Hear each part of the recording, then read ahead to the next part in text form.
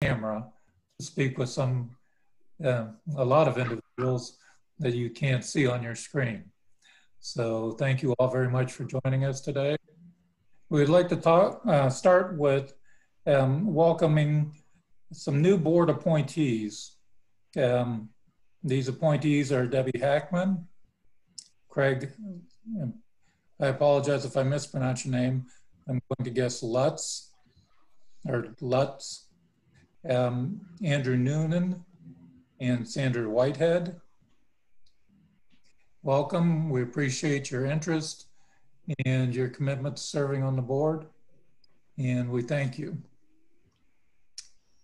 The uh, next item on the agenda, we do have two um, board members who will be leaving the board. And uh, most sincere thanks goes out to both Professor Harvey Abramowicz from Purdue University and um, I believe it's Dr. Ji Chen from IUPUI. Um, we as board, board members would like to thank you and from the bottom of our hearts for your efforts and your commitment to this program. Um, Harvey, we've served on this board together for well over 10 years, probably closer to 15. So thank you very much. Um, now, in an effort to ensure everyone knows who is on the, the call and get a little bit of background. I will start off by introducing myself and my background in the industry. And we would like to go around and have each board member introduce themselves to those who are in the gallery that are not uh, members of the board. Again, my name is Bruce Burrow. I've been in the waste and recycling industry for a little over 30 years. I'm currently an employee of Rumpke Waste and Recycling. I'm based out, we have an office in Columbus, Indiana, and my office is in Louisville, Kentucky. Um, I've been um, blessed by chairing a, a, wonderful group of individuals, and I think next we can move on to Mr. Gratz. Good morning. Uh, Matt Gratz. Um, I've been with the city of Fort Wayne um, for over 20 years now. I manage the garbage and recycling contracts for the city. Um, and I've basically been there uh, all 20 years. So I've been in the waste industry for over 20 years. And um, I think that's, that's pretty much uh, a little bit about myself. Uh, Tara, you want to introduce yourself? Sure, yeah, Good morning. Uh, my name is Tara Wessler Henry. Um, I am stationed in Connersville, Indiana. I work for the Indiana State Department of Agriculture. I am on the board as an ag kind of representative. Um, I cover the southeast part of the state. I've worked for the state now for almost 15 years. Um, my husband and I also farm in the area and um, this will be my starting my second term here with the uh, recycling board. Um, still green, understanding some of the terminology, so I do a lot of Google searches and YouTube videos just to try to learn some of these. I'm going through the grants, um, and I appreciate always having the tours that we ha uh, have the opportunity to go on as board members. Um, that really helps me out a lot. So glad to be here and good to see everyone's faces. Thanks, Tara. Um, Kelly Weger. All right, good morning, everybody. My name is Kelly Weger, and I'm with Purdue Manufacturing Extension Partnership. I manage all of our sustainability programs. We do training and consulting uh, throughout the state of Indiana. Uh, prior to that, I worked as a registered architect in the state of Michigan and uh, specialized in sustainable building design and moved down here to Indiana about seven years ago when I joined Purdue and I've been on the board here for six years. I'm not exactly sure how long. Thanks, Kelly. Um, Dr. Ji Chen.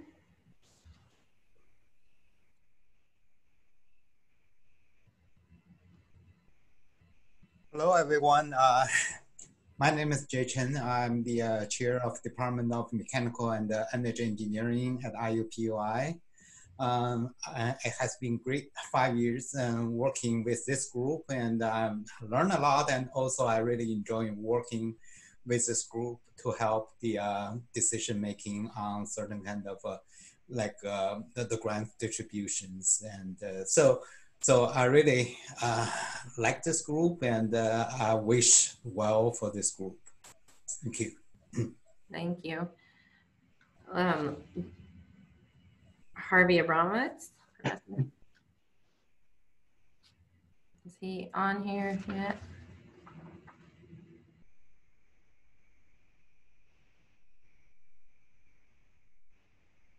We may have to move on, and Harvey did mention he might be, excuse me, a few minutes late. Okay. Um, let's go ahead and do quick introductions of the new board members. Um, that um, they'll be observing today. They will not be voting, but we are uh, definitely wanting to welcome them to the um, board. Um, Sandy, would you like to introduce yourself? Sure. I'm Sandy Whitehead. I'm the director at the Dearborn County Solid Waste Management District. I've been the director for almost five years, and I have three other years' experience here as the educator. And um, another uh, waste and recycling type uh, job that I've had is I worked for Rumpke for four years. So I have private and public experience. So I'm very pleased to be on the board. Thank you for having me. Thank you. Andrew Noonan?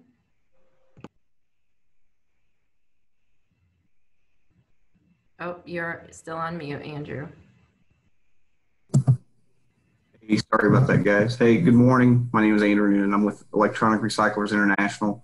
I've been with them for about eight years. I started out with their Holliston, uh, Massachusetts facility, then moved back to Indiana about five years ago to run their Plainfield facility. I'm honored to uh, be paired up with you guys. I worked with you guys on a grant not too long ago and uh, appreciate the uh, opportunity to be able to give back what you guys have been given to us to help other companies and help the state. So thank you all for uh, welcoming me aboard. Thanks. Thank you. Debbie? Hi, I'm Debbie Hackman. Uh, I'm the director of the Jackson County Solid Waste Management District. I've been here for 12 years. Uh, before that, I was educator for nine years. And in between those two um, responsibilities, I worked for the city of Seymour and uh, I manage the recycling facility for Rumpke in Louisville. I serve as an advisor for the Association of Solid Waste Districts, and I'm the um, Indiana representative to the uh, Solid Waste Association of North America's um, advisory board. Um, I also serve as a technical advisor for the Indiana Rural Community Assistance Partnership um, in the solid waste areas. So um, thank you very much for welcoming me on the board. Appreciate it. Thank you. Uh, and is Craig Lutz available? Did he, was he able to log in? Uh, uh, this is this is Craig. Can you hear me? Okay. Yes, we can hear you. Thank you. Okay. So I'm I am mobile, so I'm on my cell phone. So that's where. Um, but yeah, uh, Craig Lutz. I I've been with Republic Services for going on 18 years now. Um, based here in the Indianapolis market, uh, support the uh, Central Indiana, uh, North Central Indiana, and then Northeast and Bryan, Ohio um, markets for uh, Republic Services. So um, honored and, and appreciate uh, being on being uh, appointed to, to this board. Excited. Thanks, Craig. I do also want to recognize, and if um, they are on the call, if they would want to say a quick introduction, our non-voting members as well. Um, we'll start with Julia Wickard.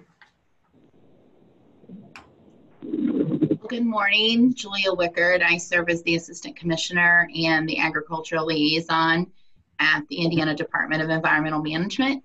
Um, I have a report in just a few moments, so I will yield the rest of my time. um, and then we have um, Senator Jean Breaux. Yes, good morning. This is uh, my representation.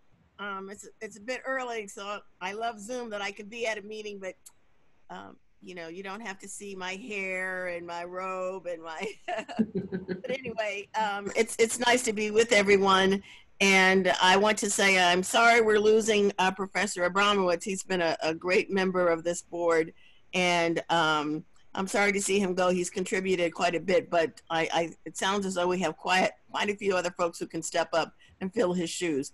Um, but um, I, think we have a lot to talk about, especially the October 4th um, uh, meeting at the State House. So um, I hope we'll get that uh, discussed today. Thanks very much. Thank you. Senator Brian Buchanan.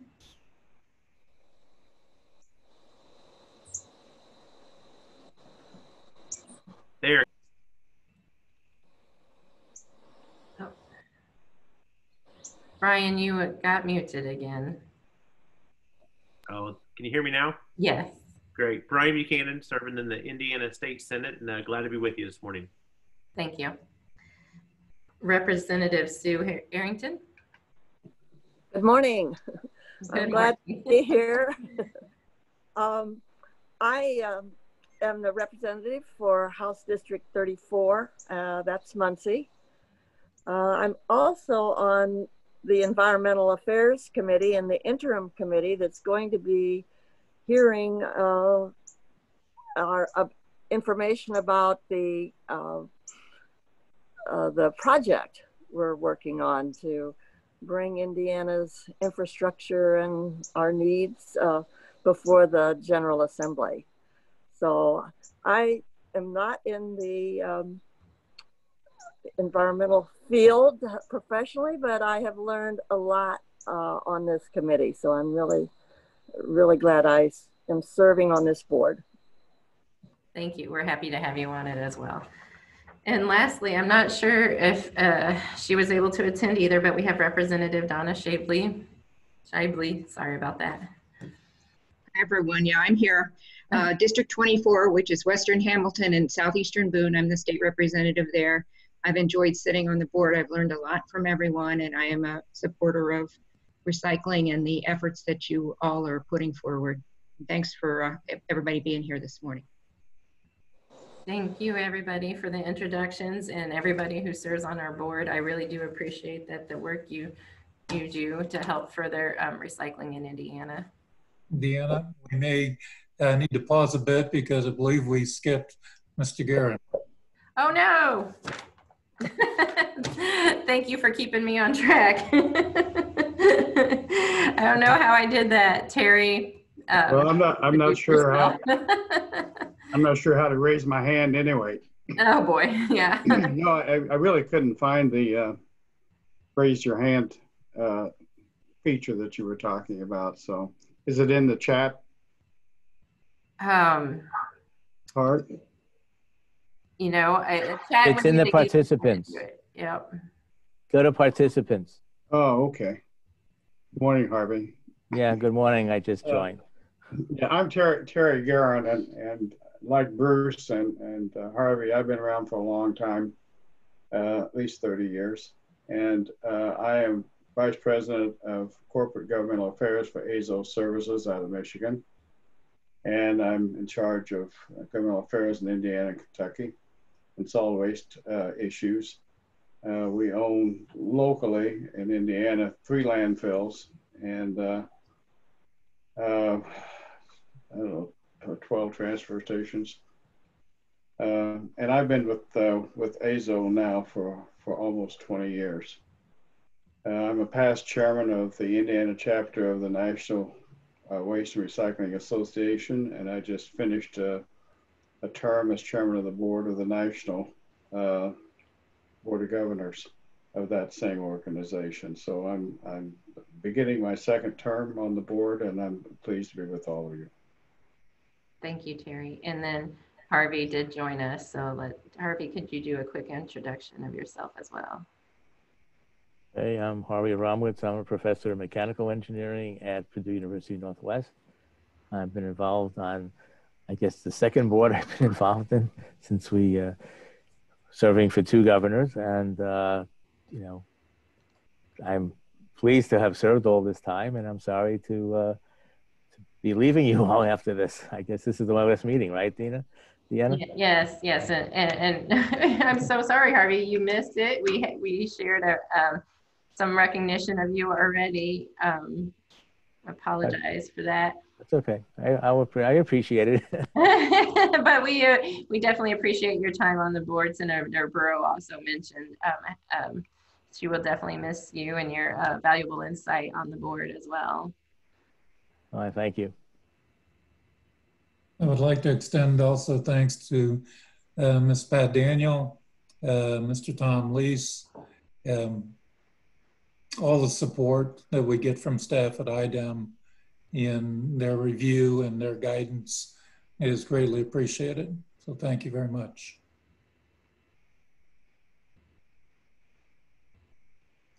Okay.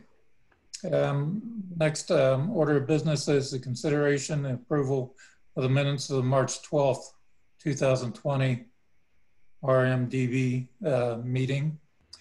Has everyone had a chance to review the uh, minutes that Deanna has sent out to all the board members? Yes. Um, Yes. So um, do I have a motion to approve the minutes of that meeting?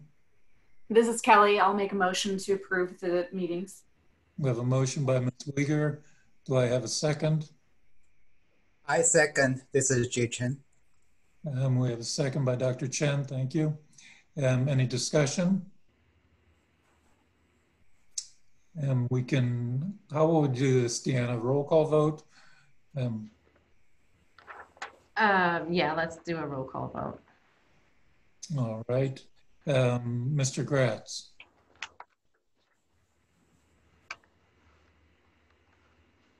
Yes. all right. Ms. Henry? Yes. Um, let's see, we have Mr. Guerin Yes. And Mr. Abramowicz. Yes. Ms. Weger Yes. and Mr. Chen. Yes. Have I missed anyone? You have not. Um, with that, the motion carries. Thank you very much. Um, next item on the agenda is an um, update on the Indiana Department of Environmental Management. Um, Julia Wickard. Thank you, Mr. Chairman. Appreciate it. And it's great to hear from everyone and um, love that we have attendees and um, on the call as well. Again, my name is Julia Wickard and I serve as the Assistant Commissioner and the Agricultural Liaison here in the Office of Program Support at IDEM.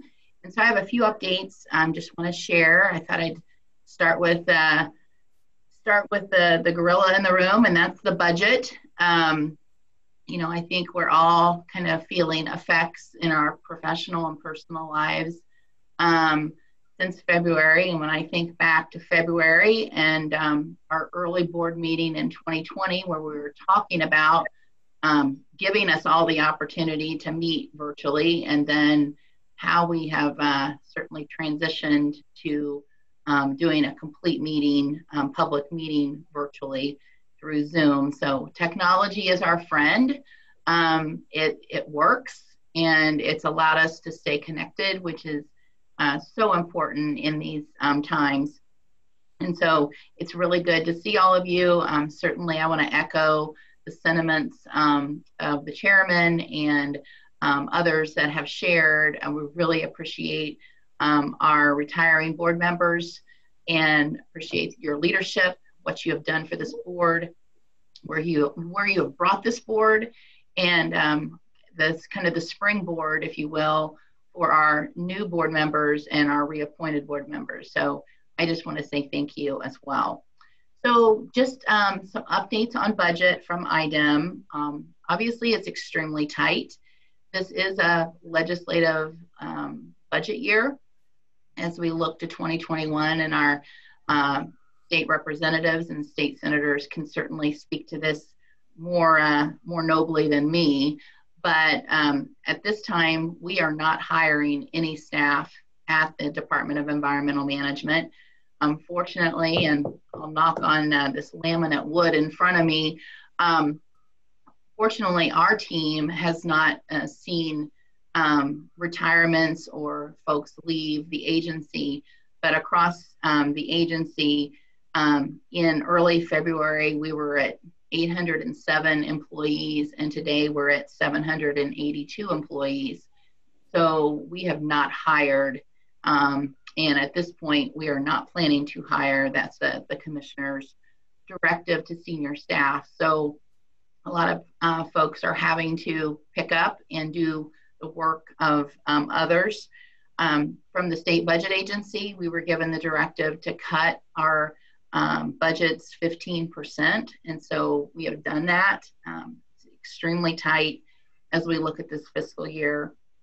Um, you know, we're, we're certainly looking, I'm looking every day for ways to meet our budgetary needs as we kind of think through the balance of this fiscal year and um, anticipate potentially what the legislature may do in the long session um, for the biennium budget. So we're kind of in a wait and see period to see what happens there. So, in working with the state budget agency, um, the decision was made um, by the commissioner to reduce grant funding for the Recycling Market Development Board uh, from the $2 million to $1 million. And I know Deanna has done a great job of communicating that all to you. So I know that's not a surprise. Um, this is for the fiscal year 21 grant cycle that we're going to talk about today. Um, we do ple- we do believe this is probably the best decision, the most prudent decision, given the financial situation that our state um, government is in. And so at this point, and kind of moving forward for this meeting, um, the $1 million is what we will have to um, allocate for the grants that we're going to talk about today. Um, I'm very disheartened that we don't have the 2 million, um, but we are fortunate to uh, have retained the $1 million. And for just um, as um, those board members that have been on the board for a period of time, you know that $2 million just came to us um, in the last year. So I'm glad that we have $1 million to uh, distribute um, to some very noble projects that we're going to talk about. Um, we also just trying to be prudent and think kind of conservatively about kind of where the state is we have suspended the community recycling grant program that we launched last year.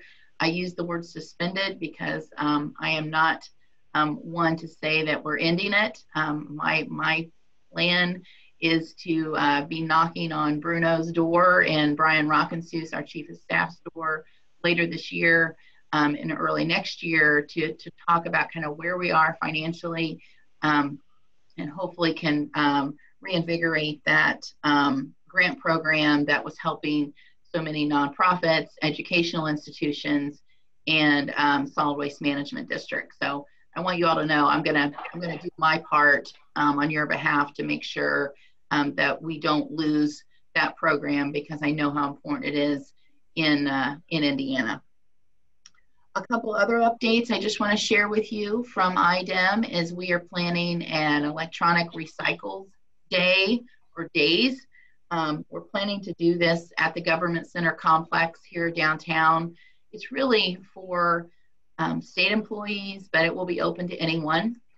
Um, we have work, we're working with technology recyclers here in Indianapolis, and um, on November 10th and on November 12th, two days from 7 a.m. to 12 noon each day, um, we are actually going to have a drive-through um, electronic um, recycling event.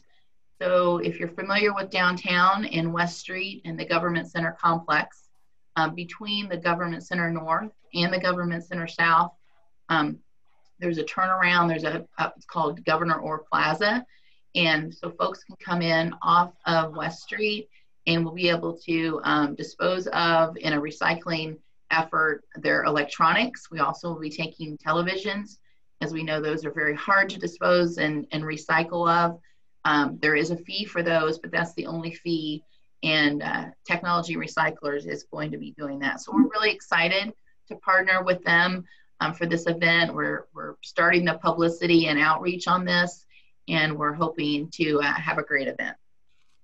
Also, some of you might have been a part of our first ever um, all virtual pollution prevention um, conference that was held last week, where we had the conference and a trade show.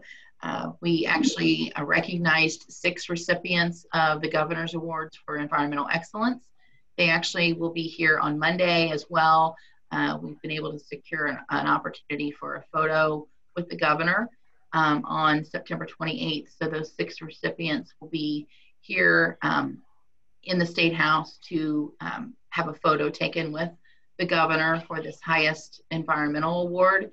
And then we also inducted six new partners for pollution prevention um, members, which is um, unheard of to where we've done that many at one time. We've had a lot of interest during this COVID period. And so I guess that's the silver lining, right? So we're always trying to find those silver linings. And so we had a lot of interest and we're able to induct six new members. We had an incredible um, Army, incredible team behind the scenes of the IDEM staff that actually put on that conference, um, working very uh, collaboratively with our Partners for Pollution Prevention Executive Committee. Um, but it was a great event, and I would say that if you have events um, that you're holding virtually and you're using platforms like Zoom or Remo or HeySummit, uh, we have some expertise in house that uh, we probably could um, assist you with. Also, I want to let you know that um, our environmental education has kind of morphed into virtual learning as well. Um, you know, when uh, when the early days of COVID were here, um, that was about the time with Earth Day and our Earth Day presentations, where we are in um, a lot of school systems across the state, and those were all closed and stopped. And so we've had to kind of reinvent ourselves on environmental education and so our team is in the process of doing that as well. We've held some virtual classroom discussions even yet this week, and we're looking at ways to even broaden that more. So if you have, um, if you know of teachers or you know of people that would like some environmental education curriculum uh, brought into um, kind of their venues, let us know, and we can certainly do that. So just, uh, just let us know and we'll make that happen. Um, and then um, I know many of you are familiar with our CTAP group, our Compliance and Technical Assistance Program. Um, for the last eight months or so, we have been working on a new database to uh, that is uh, it's very user friendly. It's customer facing. It's going to be very accessible, and most importantly, it remains and will be always confidential. So um, it will be on our website where um, interested um, organizations, individuals, businesses can click into that portal and can uh, request consultation and information. And we're very close to going live. I would say by early next week, it will be live. Um, our staff has been completely trained in this new system, and we're excited because we have not been able to really generate the kind of reports and metrics that we wanted to be able to do. And with this new system, we're going to be able to do that. So, in terms of getting information to our legislature, um, to um, other entities or stakeholders that might want to know um, what our CTAP group is doing, I'm excited about this new um, database that we've been working on, and I'm very feel very blessed that we've been able to make that happen. Um, and then the, the last couple things um, is we are planning to do an E101 session, which is really a webinar. We're planning to do this virtually yet this year. And so we just ask that you to look for information. We'll have Deanna help push it out to um, each of um, each of you so you're aware when we hold those webinars of environmental um, policy kind of updates and we kind of choose a topic and then really expand and take a deep dive into it. So we're excited that we'll be able to provide and, and bring that to citizens in Indiana yet this year. Um, I believe Senator Breaux talked about our October 4th Environmental Affairs, um, the Summer Study Committee meeting is meeting. Uh, Representative Gutwein is chair, and we have been in touch with him and the Legislative Services Agency we are planning a presentation um, to the Environmental Affairs Summer Study Committee, um, providing a, an update on recycling and um, most importantly, uh, kind of where we are with our recycling study that GT Environmental is conducting for us. And I know um, we're going to hear from them in just a couple minutes as soon as I'm finished, kind of where things are with that study. And we'll be able to bring um, those findings thus far um, to our members of the legislature during that summer study committee.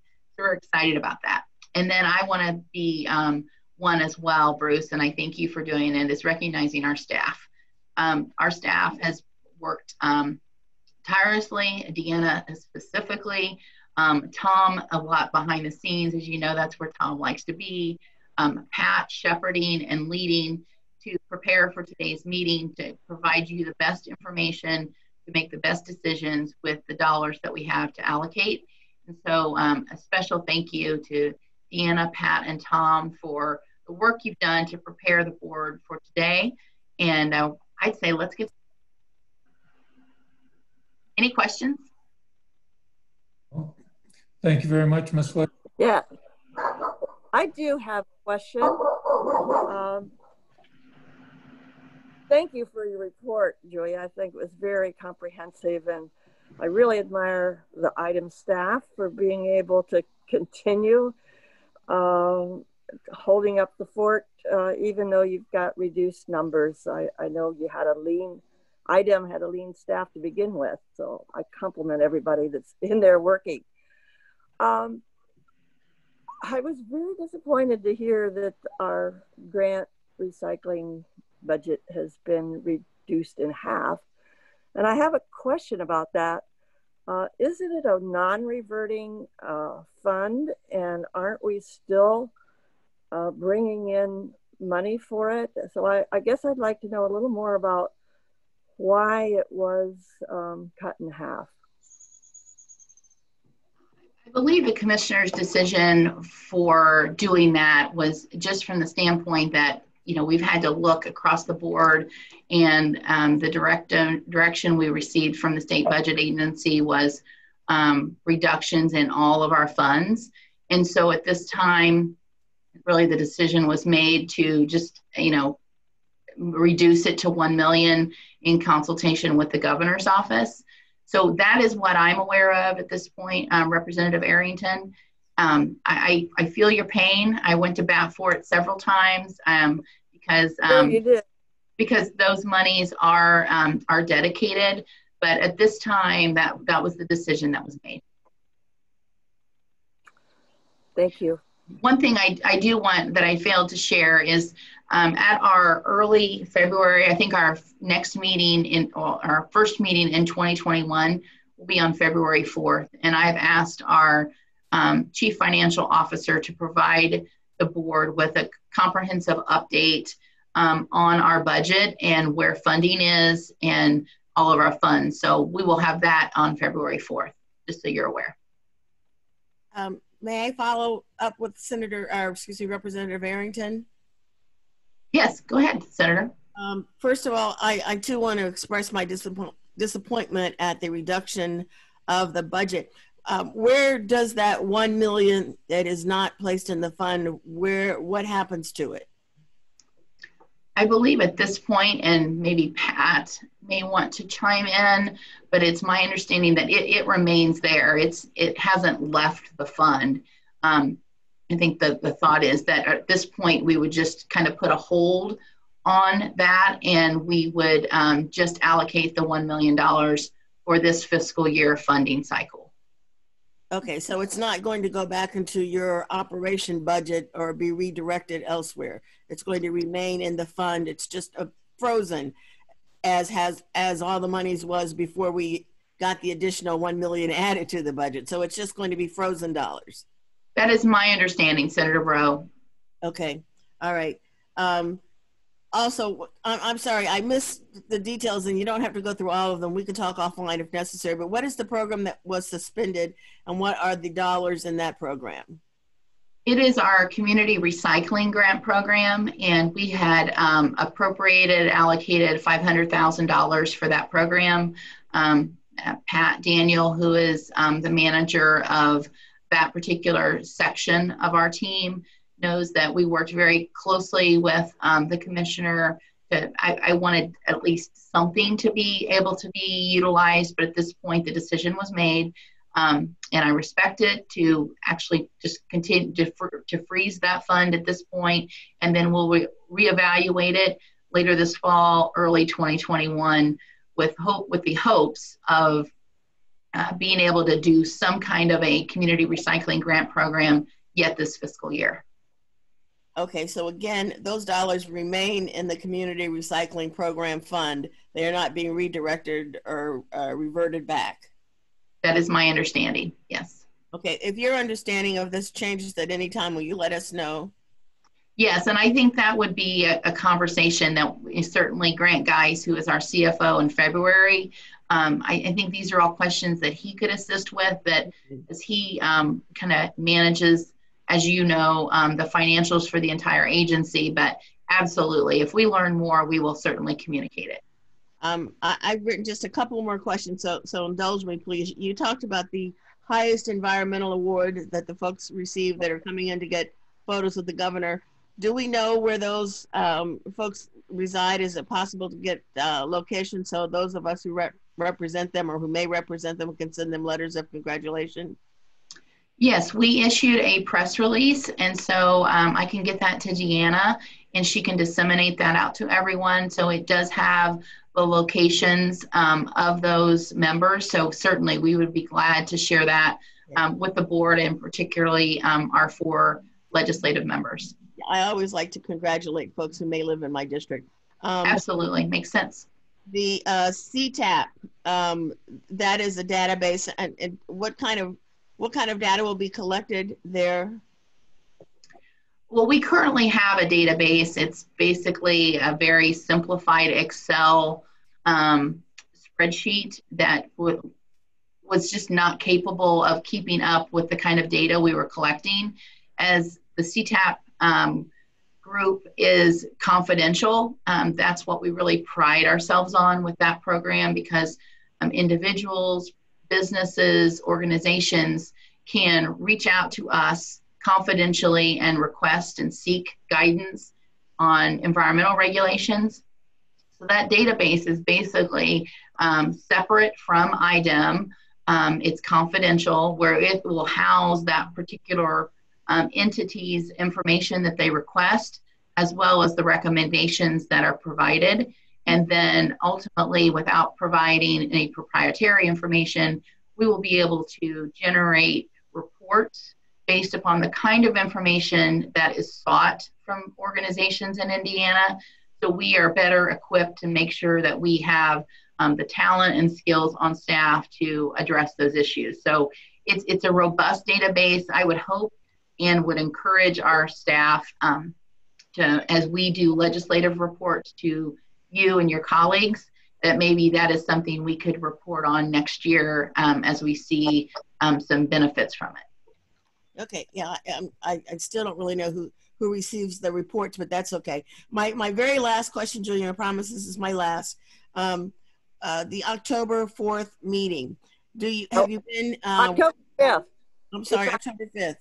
Sorry. October 5th. yes, October 5th. I apologize. Yep. Um, have you been working with LSA and do we have folks that, I know IDEM will testify. Is that the only um, body that will testify, or will there be um, members of the uh, recycling industry that will testify, or have you been have you gotten all that sort of nailed down for us? Yes, from what I understand, they're wanting to limit um, speakers. So I believe there are two items on the agenda that day. One is um, kind of an update from IDEM, from our chief of staff, to talk about our COVID plans and the things we have done the, the metrics that we've met and that kind of thing. And then also this recycling study and an update on recycling. So I believe those are the two items. And yes, I've been working with Craig Mortel at LSA to um, put that together Plan to have a PowerPoint presentation that will be shared. And um, it's my understanding that um, Brian Rockensuess and myself will be in the Senate chamber with the members, and then there will be another room um, where attendees uh, from the public can um, and will be placed. So that's what I understand at this point. And so we are uh, we are putting those final touches on that presentation and actually meeting following today's meeting um, once we have a little bit more information from GT Environmental um, to uh, fine tune that so it will be ready for delivery to you and your colleagues. Okay. All right. Very good. And, and I am sorry to hear that you've lost uh, so much staff, but thank you for all that you do. And I, I'm I'm uh, going to put myself on mute now. You're fine. We appreciate your questions. They're important. Thank you. And Julia, we have a, a two people with their hand raised. Terry Guerin raised his hand first. Okay. Terry? I, I just want to share my concern uh, that was raised by the legislators concerning the loss of that million dollars. Um, I don't understand if it's still there in the fund, why it couldn't have continued to be allocated. I'm always kind of suspicious when things like this happen. And Julia, I appreciate all the efforts that you've made to try to save that million dollars. But that fund, the money for that fund comes from landfills, a fee per ton, 50 cents per ton. Right. And I'm concerned that Governor Daniels a few years ago in a time of need, I think it was about 10 or 11 million dollars that he took from that fund. Uh, there wasn't anything illegal about it.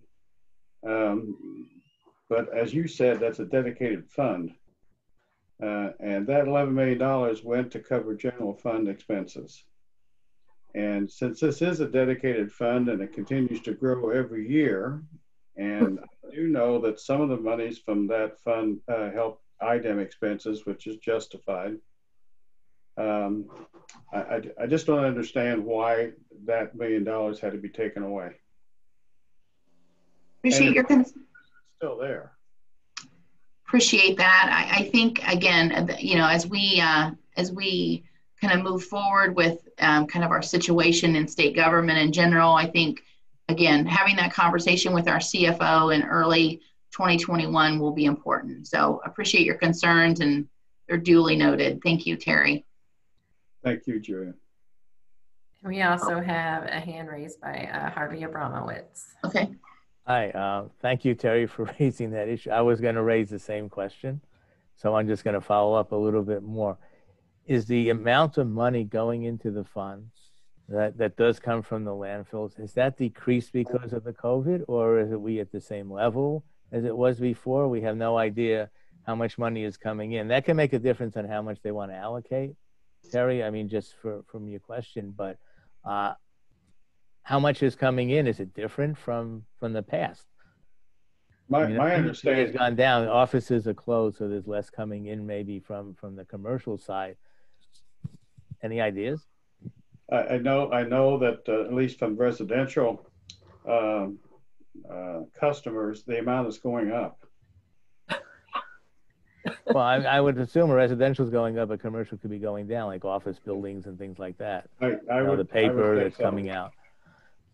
Harvey, uh, our Office of Land Quality does get um, those reports of tonnage um, for the landfills, so we can look into that and just follow up a little bit. Because that can make a difference. I'm just following up on what Terry said. The the amount mm-hmm. of money actually this goes back to when that, those millions of dollars were taken for the general fund that caused at that at that point there were people on the board that resigned because of that issue so um, just let, let it let put a little history into the discussion about what happened in the past and uh, I think Bruce was there Terry was there I was there right so we've all been through that and uh, I guess we don't want to see that happen again Thank you. Thank you. None of us. Appreciate Are there any other questions? I think No, we one, one thing I would like to say is that I believe our program has a much stronger support um, from Mr. Bruno Pigott um, than his predecessor. And I trust that, you know, the, the program itself will continue and those monies will still be available moving forward. Obviously, Julia's uh, in working with budget. You know, there are spendable dollars and there's dollars that are in the fund. And I don't want to try to be an accountant or anything like that. But Terry, you've been in business long enough to know um, sometimes we have to spendable dollars from one category to another if needed. And it may just be a backstop in case we need additional funds, spendable dollars in for, you know, public services, police, fire, those type of uh, needs. So I trust in uh, Commissioner um, and I believe we will have his full support moving forward. Well, we did, we did ask, we did ask for, I think it was two years ago, an accounting from IDEM as to uh, what was happening with that money. And uh, IDEM uh, did provide a, a wealth of information as to what the status of those funds were at that point in time and where they were going. And um, so we can just keep a handle on what what the uh, level of the balance of that fund is now, and then Julia, if you can just kind of watch that carefully again over the next year and see what happens to it. it should go I, up. I will, and um, our our plan for our new CFO will be to update all of you, and we have we'll have several new board members um, that will be active um, to provide that very comprehensive overview of kind of where our budget is and where these funds and um, these particular dedicated dollars are actually located. So we will do that at our February meeting. Thank you, Julia. Thank you very much. The next item on the agenda is a status update of existing grants, and Ms. Garner will provide us with that information. Thank you, Bruce. Um, yes, um, our last fiscal year 19 grant with the electronics recyclers um, did a wrap up a couple months ago. They uh, built and purchased a um, recycling mobile shredder unit for electronic waste. So we're really excited for that project to really start getting out um, to different offices and other places um, we think it's a, a, very interesting opportunity. I was able to um, join them virtually since uh, this was right in the middle of COVID spread um, uh, and see how the new trailer works. And it's very interesting and uh, very little neat operation there.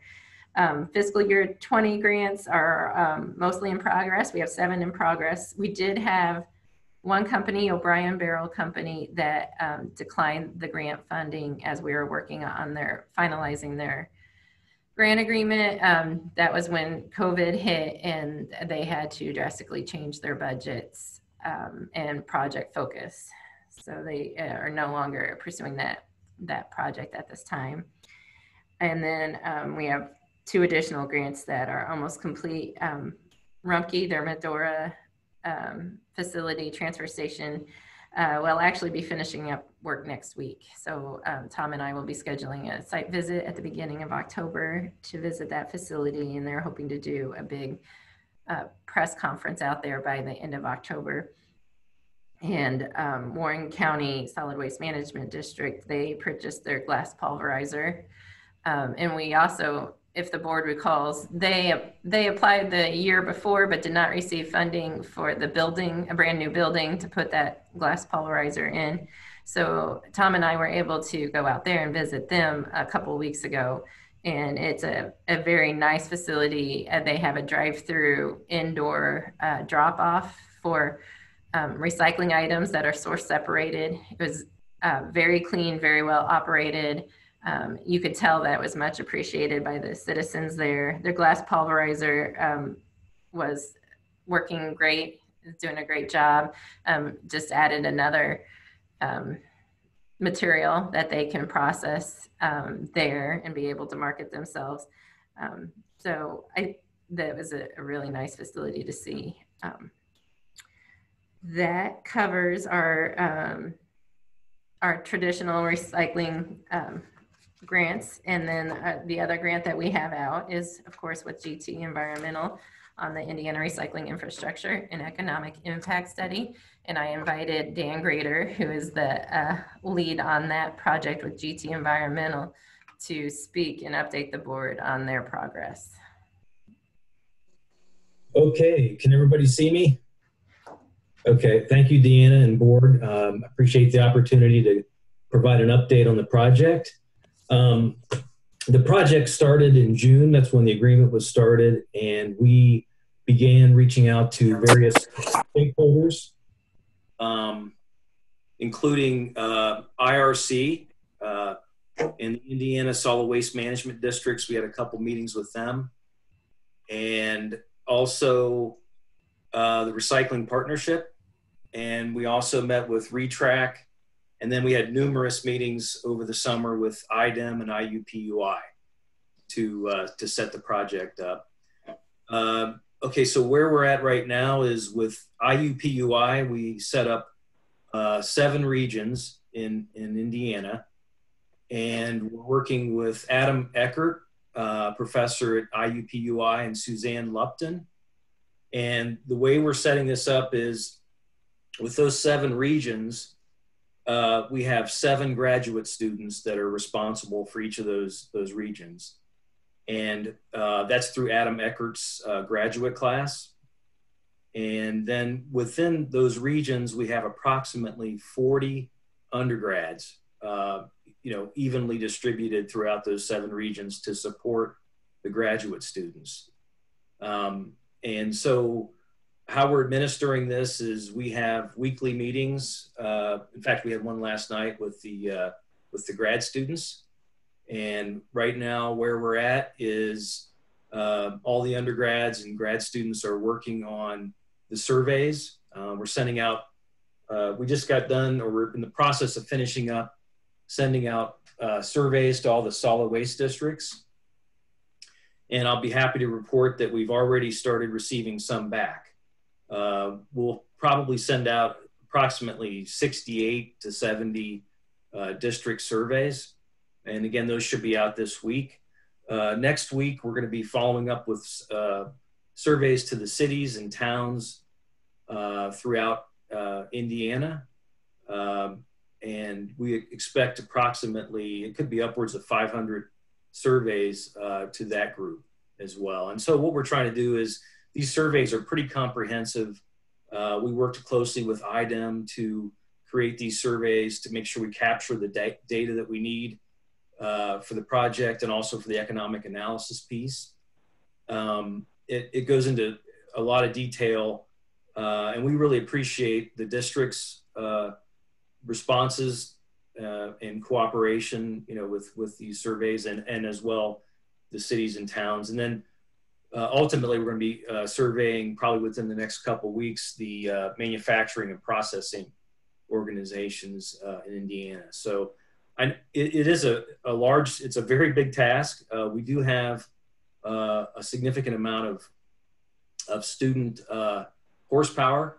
and so our goal is to maximize that. I, I am impressed with the graduate students we we don't meet with the undergrads. That's we've kind of left it so that the grad students facilitate and run their regions. Um, so we work closely with them. Uh, I also have two staff members that have been assigned uh, two or th uh, three or four each. Uh, one has three, one has four regions. So these staff members are directly responsible to help and assist the grad students uh, in, in these tasks. So um, we have all the databases set up and as the surveys come in, we allocate the information or we provide the information to the grad students and then they uh, populate their databases. So um, we have a work plan set up uh, for the entire semester uh, with goals and deliverables during the uh, during the semester. So uh, you know we're we're right in the thick of that. So um, that's that's where we're at as of right now. Uh, does Deanna, does anyone, the board have any questions on the project?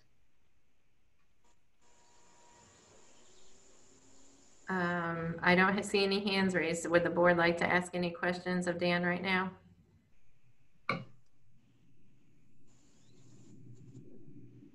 Believe not. Thank you, Dan. Yes. Can I ask a quick question? Sure. Um, this is Julia Wickard. Um, so do you feel like we are on track with our timeline, um, kind of where things are from a timeline standpoint? Can you talk a little bit more about that? Yes. Um, when we set the work plan up, we allocated some cushion time at the end, so to help us in case we get a little bit behind. I'd say we're pretty much on time. Um, you know, I think one of the biggest challenges of a project like this is getting uh, organizing by everybody, you know, as far as the students and so on. Um, so we set, for instance, the district surveys, we set a date of October 1st for responses. And, uh, you know, again, we're already receiving some of those responses back. Um, for the districts, we expect a high um, response rate. Um, the cities will, will hope to get a lot of that information back, uh, you know, in the middle of October. And then we hope, and then you got to remember when you do a survey like this, you're, you're continuously working, uh, collecting the data. So, you know, we'll, send those surveys again, the districts we hope by early October to get the vast majority of them, maybe collecting a few stragglers, uh, middle of October. The cities, middle of October, hopefully the majority of it and again catching some of the stragglers towards the end of October. And the businesses we're going to start, uh, you know, early October, and hopefully by early November have a lot of the businesses responses by then. So at that point, then there'll be, uh, you know, uh, aggregating the data, comparing it to the Re-TRAC data that IDEM provided. Um, we're using 2019, which is we're lucky that uh, 2019 was unaffected by the uh, uh, COVID pandemic. Um, and, um, you know, I will say too that, uh, you know, while I was planning on doing a lot of in person meetings, uh, because we're virtual now, it does make us more efficient actually. And, and having the meetings with the students and so on. So, uh, yeah, so I think we're, we're right on task. We're right on time. I don't see any issues with completing the project. Um, the the students we've timed the end of the project with the end of their semester um, and november 20th is the date that we we want the students to be done with their with their portion um, and the idea is that it's basically going to have we're hoping to have final reports for each re- region that'll be like mini reports for the project that we can then roll up for the whole state um, and then after that is when we're going to probably continue to work through the those reports, rolling them up, but then also preparing for the economic study piece uh, with the Indiana University Public Policy Institute, uh, which I've already been, I've reached out to them. I've already talking to them uh, about getting ready for that that portion. So, but that's going to be, you know, the first of the year. That's going to be the second half of the of the actual uh, project. Okay. And will you be available as well to give us a update at the November 5th board meeting? Oh, yes. I plan on attending every board meeting uh, throughout the project.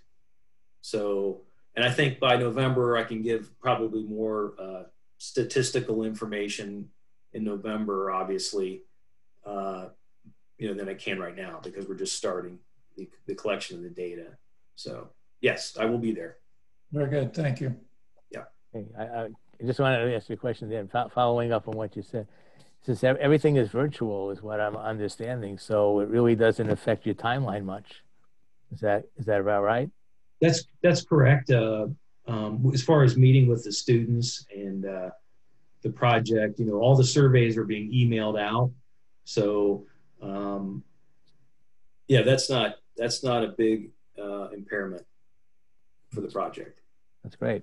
Thank yeah. you yeah, it's good. It's a good thing. Any other questions? Very good. The next order of business um, we have on the agenda is the selection of a vice chair. And you know, I'm pleased I've had discussions with a lady who's sitting in front of the ocean that's not moving, um, Kelly Weger. Um, we find as we go through the grants as board members, and myself personally as chair, as we promote these uh, grants, um, in this grant round, we had 11 applicants, very good applicants, for a total of 2,050,000 and change. Um, I'm going to have to recuse myself from four of those um, grants, from discussion and voting on four of those grants. So during that period of time, and I will have to um, transfer the meeting over to a vice chair. And I guess my request is, would Ms. Weger be willing to be nominated for that position? Well, because you asked so nicely, yes. Thank you very much. And with that response, um, it's going to take a vote of the board. Well, um, Bruce, can I ask one question first? Absolutely. Um, there is, I think on the, on the, on the, what was it, the plus five one? They are, they are working with Purdue. So I don't know, that's an issue for me. What about for Kelly? I actually did not um, catch that. So yes, that would be a conflict. Okay, just, so I just wanted to make sure that you knew that, Bruce. I think we'll get into that with uh, Mr. French here prior to the voting. Um, but the, I think we still will have the votes required to, to go through the, the applications themselves. Um, so we'll bounce it back and forth between Kelly and myself. But I guess I'll make the nomination or I'll make the motion uh, that Ms. Kelly Weger uh, would be selected as vice chair for the board. And with that, do I have a second? Second. Second by Mr. Guerin. Any additional conversation? Hearing none, we'll have a roll vote. Um, Mr. Gratz, Yes. uh, Ms. Henry, Yes. let's see, Mr. Guerin, Yes. Uh, Professor Abramowicz, Yes. and Dr. Chen, Yes. and I vote yes. Um, With that, I believe the motion carries. Kelly, I'm sorry I didn't ask you to vote for yourself, but if you'd like, you please contribute. Um, But um, thank you very much. I, I'm excited to work with Kelly, and I think she's a tremendous asset to the board. So congratulations and thank you. Thank you. Now, on that note, we will get into the status and updates of the existing grants. Or, I'm sorry, the consideration of the uh, applications themselves. I'm excited to say that this year we had 11 excellent grant submittals. And all of the work that staff put in to review the grants was greatly appreciated all the work by the board members to review the grants. Um, greatly appreciated. I personally know how much time it takes to go through the details of each grant, as um, all of you can imagine. Um, you do have to set a lot of time aside to go through the details, and we want to be as responsible as possible with the monies allocated by the state. So, um, Unfortunately, um, with the 2,050,000 request, um, there are going to be, um, uh, you know, several that will not be funded. Um, I highly recommend that you persevere and reapply based on budgets.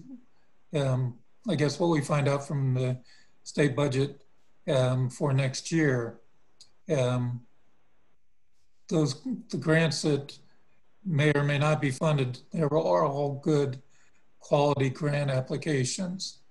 And I wish we had the ability to fund every one of them. Um, but we will do our best in reviewing the grants, um, the staff actually does an initial scoring of each grant applicant. Um, they review the application, they score based on a matrix that is developed over several, several years in working with this board. Following that, each board member provides their own scoring to staff, and staff then averages the, the IDEM staff um, scoring with the scoring of the board members, and we then rank the applications. And normally during the award process, and I feel that's probably the route we should take this year, unless any board member objects. Um, we do the countdown from the total that we have available. Um, and as we award, we work down until we run out of money. So does anyone object to following that same criteria this year? Bruce, I, I just have one comment. I was looking at um, the list and I, I did have, um, in an effort to, to want to award, I mean, because as you mentioned, there are so many great projects. And so I was looking at it and uh, if one of the larger ones was able to take just a little bit less than what their total amount is, I think that we could actually uh, if I do my math right, award um, eight. And so that's that's one of the questions that I have when we get to that particular applicant. Okay, thank you.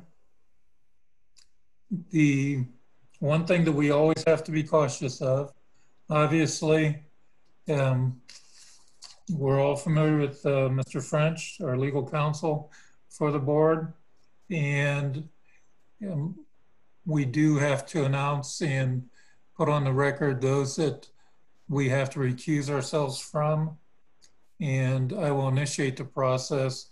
Obviously, everyone has to submit to the Ethics Commission a disclosure document, uh, disclosure statement, conflict of interest for decisions and voting, or discussions and voting. I personally will not be discussing four of the applications today. Um, one being Tri-State Resource Recovery Center, um, the second being uh, Dan Cristiani Excavating Company Incorporated, the third being Dearborn County, and the fourth being Richmond Sanitary District. And I've submitted my disclosure statements to Mr. French. Any other um, recusals? Yes, uh, versus Terry. I need to recuse myself from the Dearborn County um, application, and I have discussed this with uh, Mr. French. Thank you. What I said before was on the plus five. I think I have to uh, recuse myself because they said they were working with Purdue, but I didn't have a chance to talk to Mr. French about it. I just realized that the other day if the university was mentioned in the grant application as a contributing partner, uh, I think uh, it would be wise to discuss it with Mr. French and get his legal opinion on that. Is Mr. French on the call?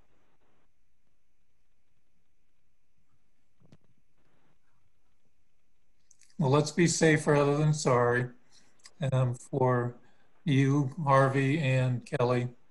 Um, and I think we'll go with the recusals and um, vote accordingly. Okay, thank you.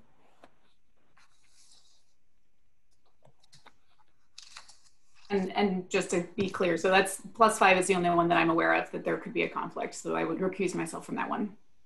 All right, thank you, Kelly. Any others? Very good. Uh, board members, um, Deanna put an excellent uh, re recap together for us and emailed it out last evening.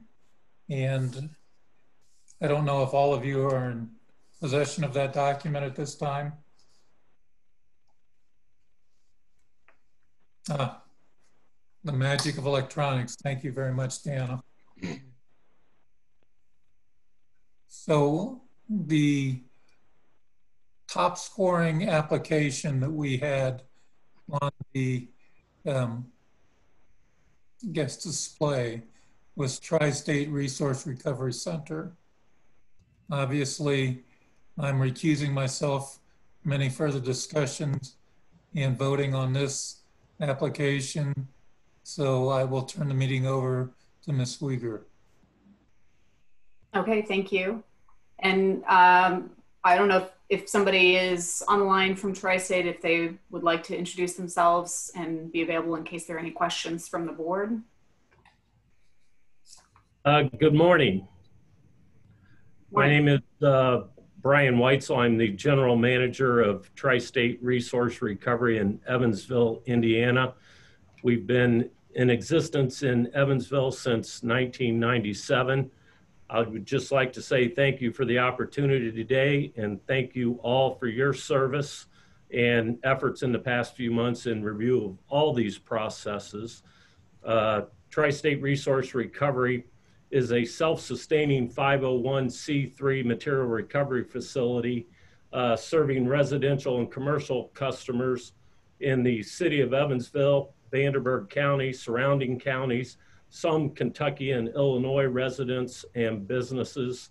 And we are very proud of our participation rate of residential customers that range from 63 to 67% of residential customers ranking us as one of the highest um, participation rates in the country.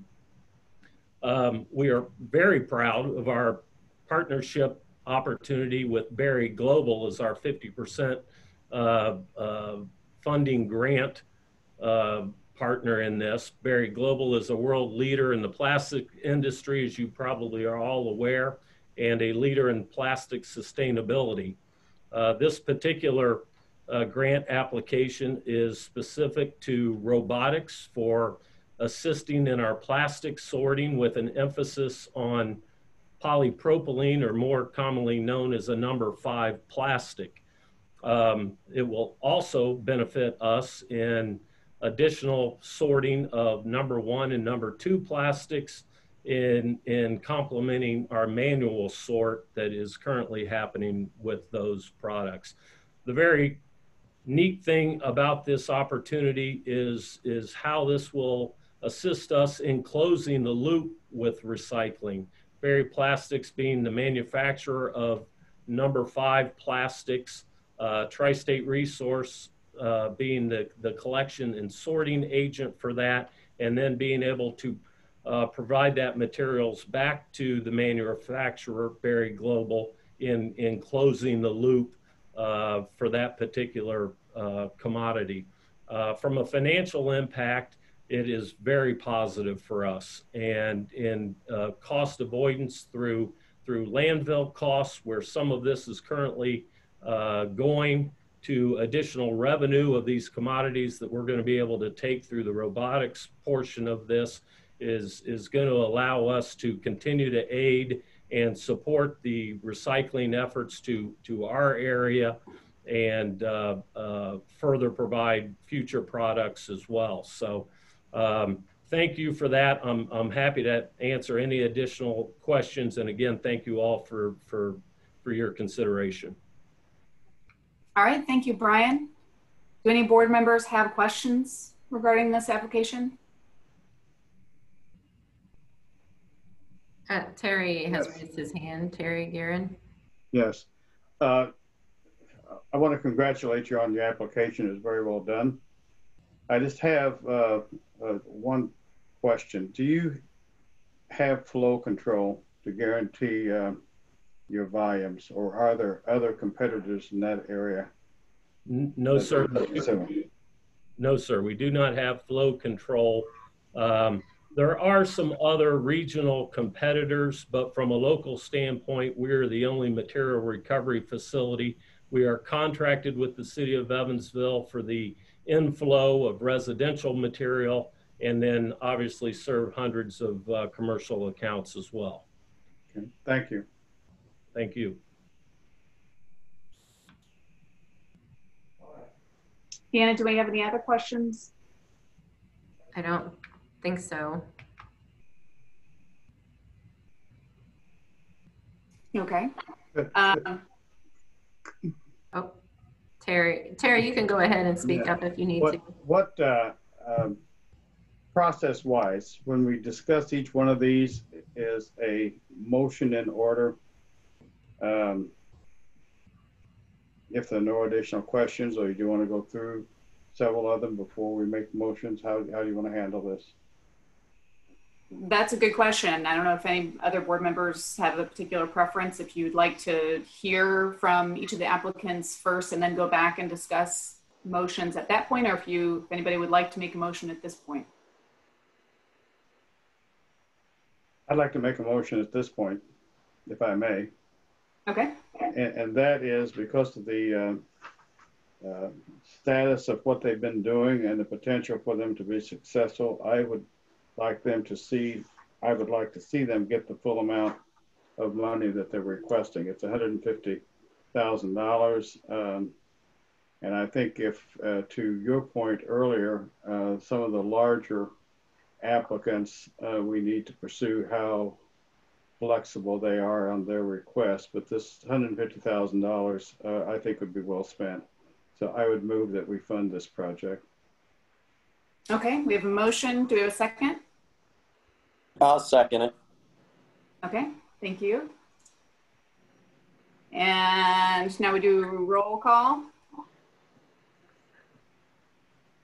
So we have a motion for uh, funding $150,000 for Tri-State Resource Recovery Center. And uh, I may not have these in any particular order, but uh, Mr. Chen Yes.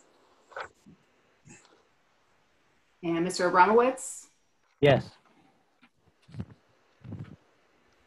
Mr. Gratz, Yes. uh, Mr. Guerin, Yes. and Ms. Henry. Yes. Did I miss anybody? Okay, the motion is approved. And is there any discussion? I guess that was.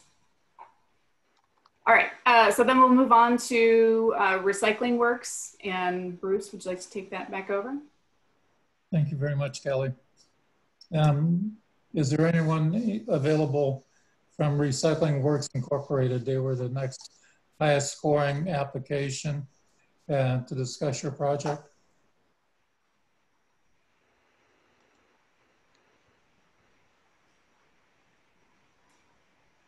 No one in attendance from Recycling Works Incorporated?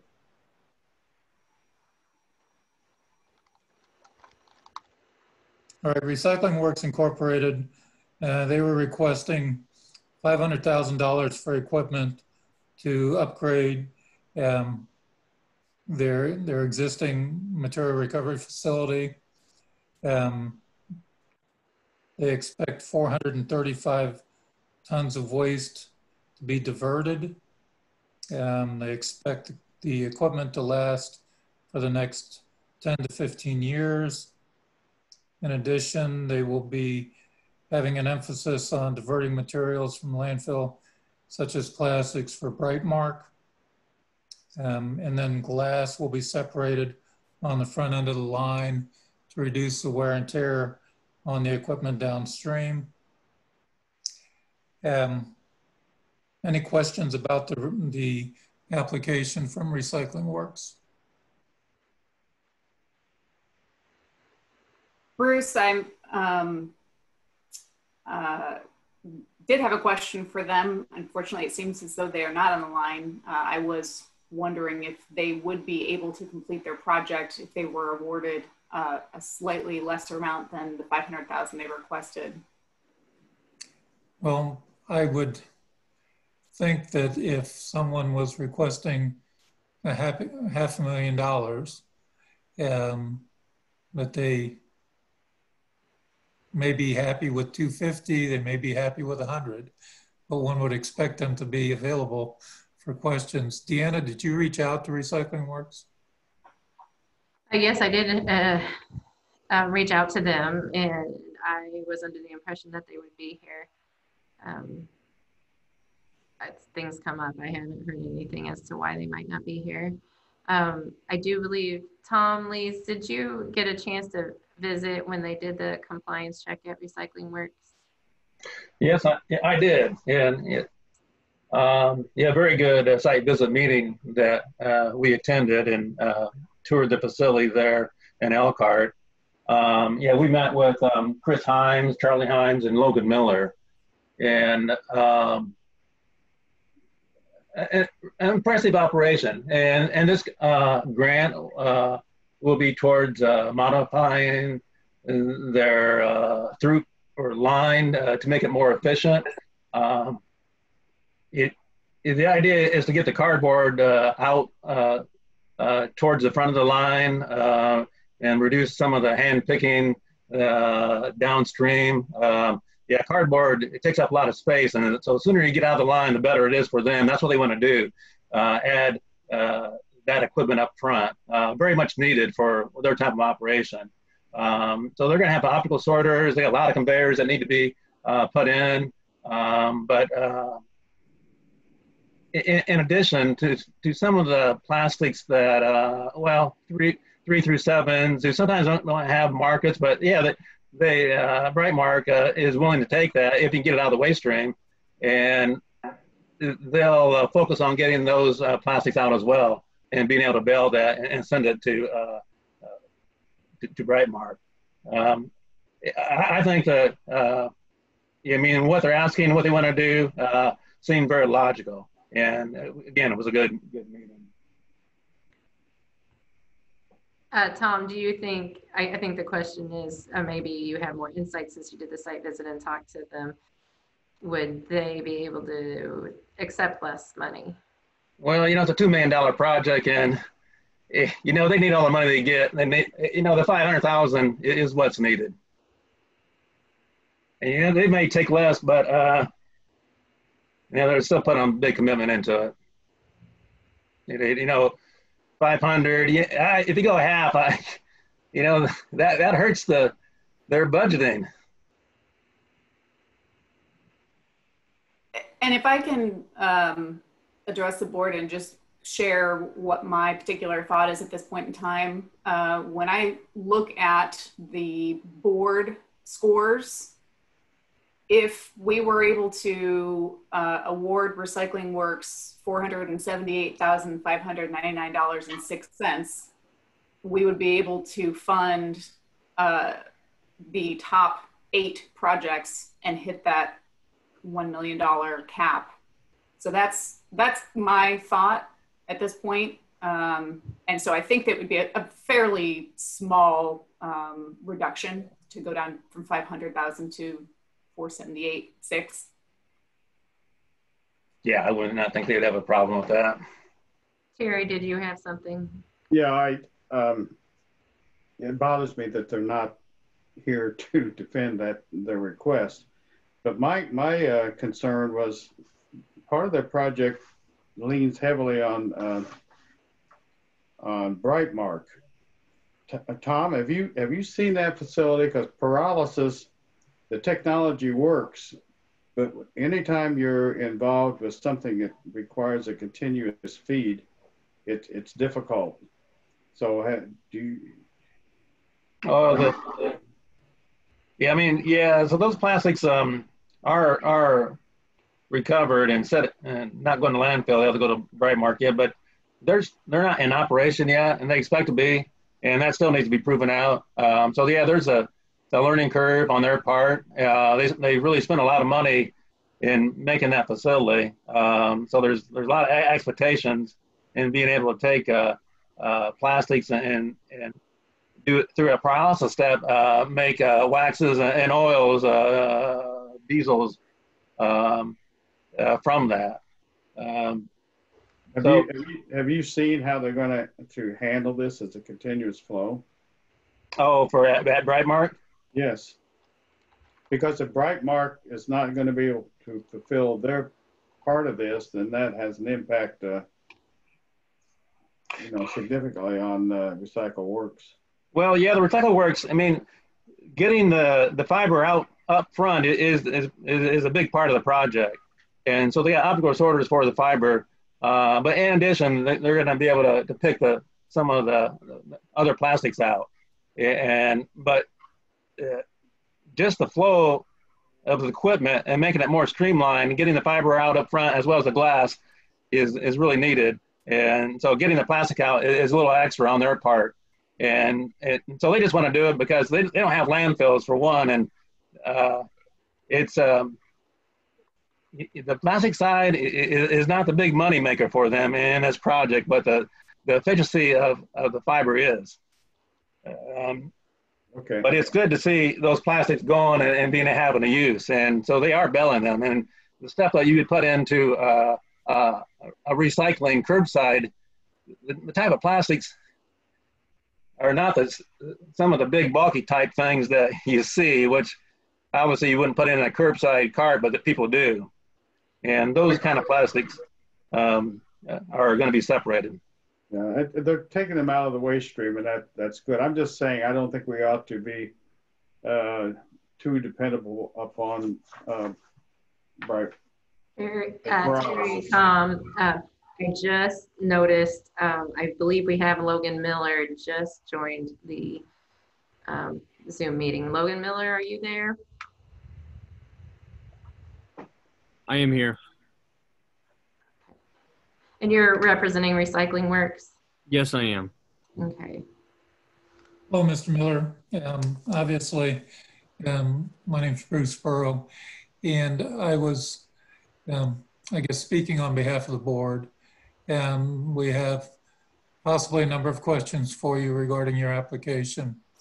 And I'll, we'll let it, Ms. Weger start off the questioning. Sure, thank you, Bruce. Uh, Logan, one of the questions that came up is you guys had applied for $500,000 for your program. And the question I had is if that amount was reduced, um, would your project still be able to move forward? I know that other board members may have different ideas on what that reduction might look like. The question for me is if that was reduced to $478,600, would that per, per, uh, stop you from moving forward? Or would you still be able to proceed with that? Um, I am I mean, I'm hesitant to answer that in certain ways, but we're we're looking to do improvements regardless. Um, we have to.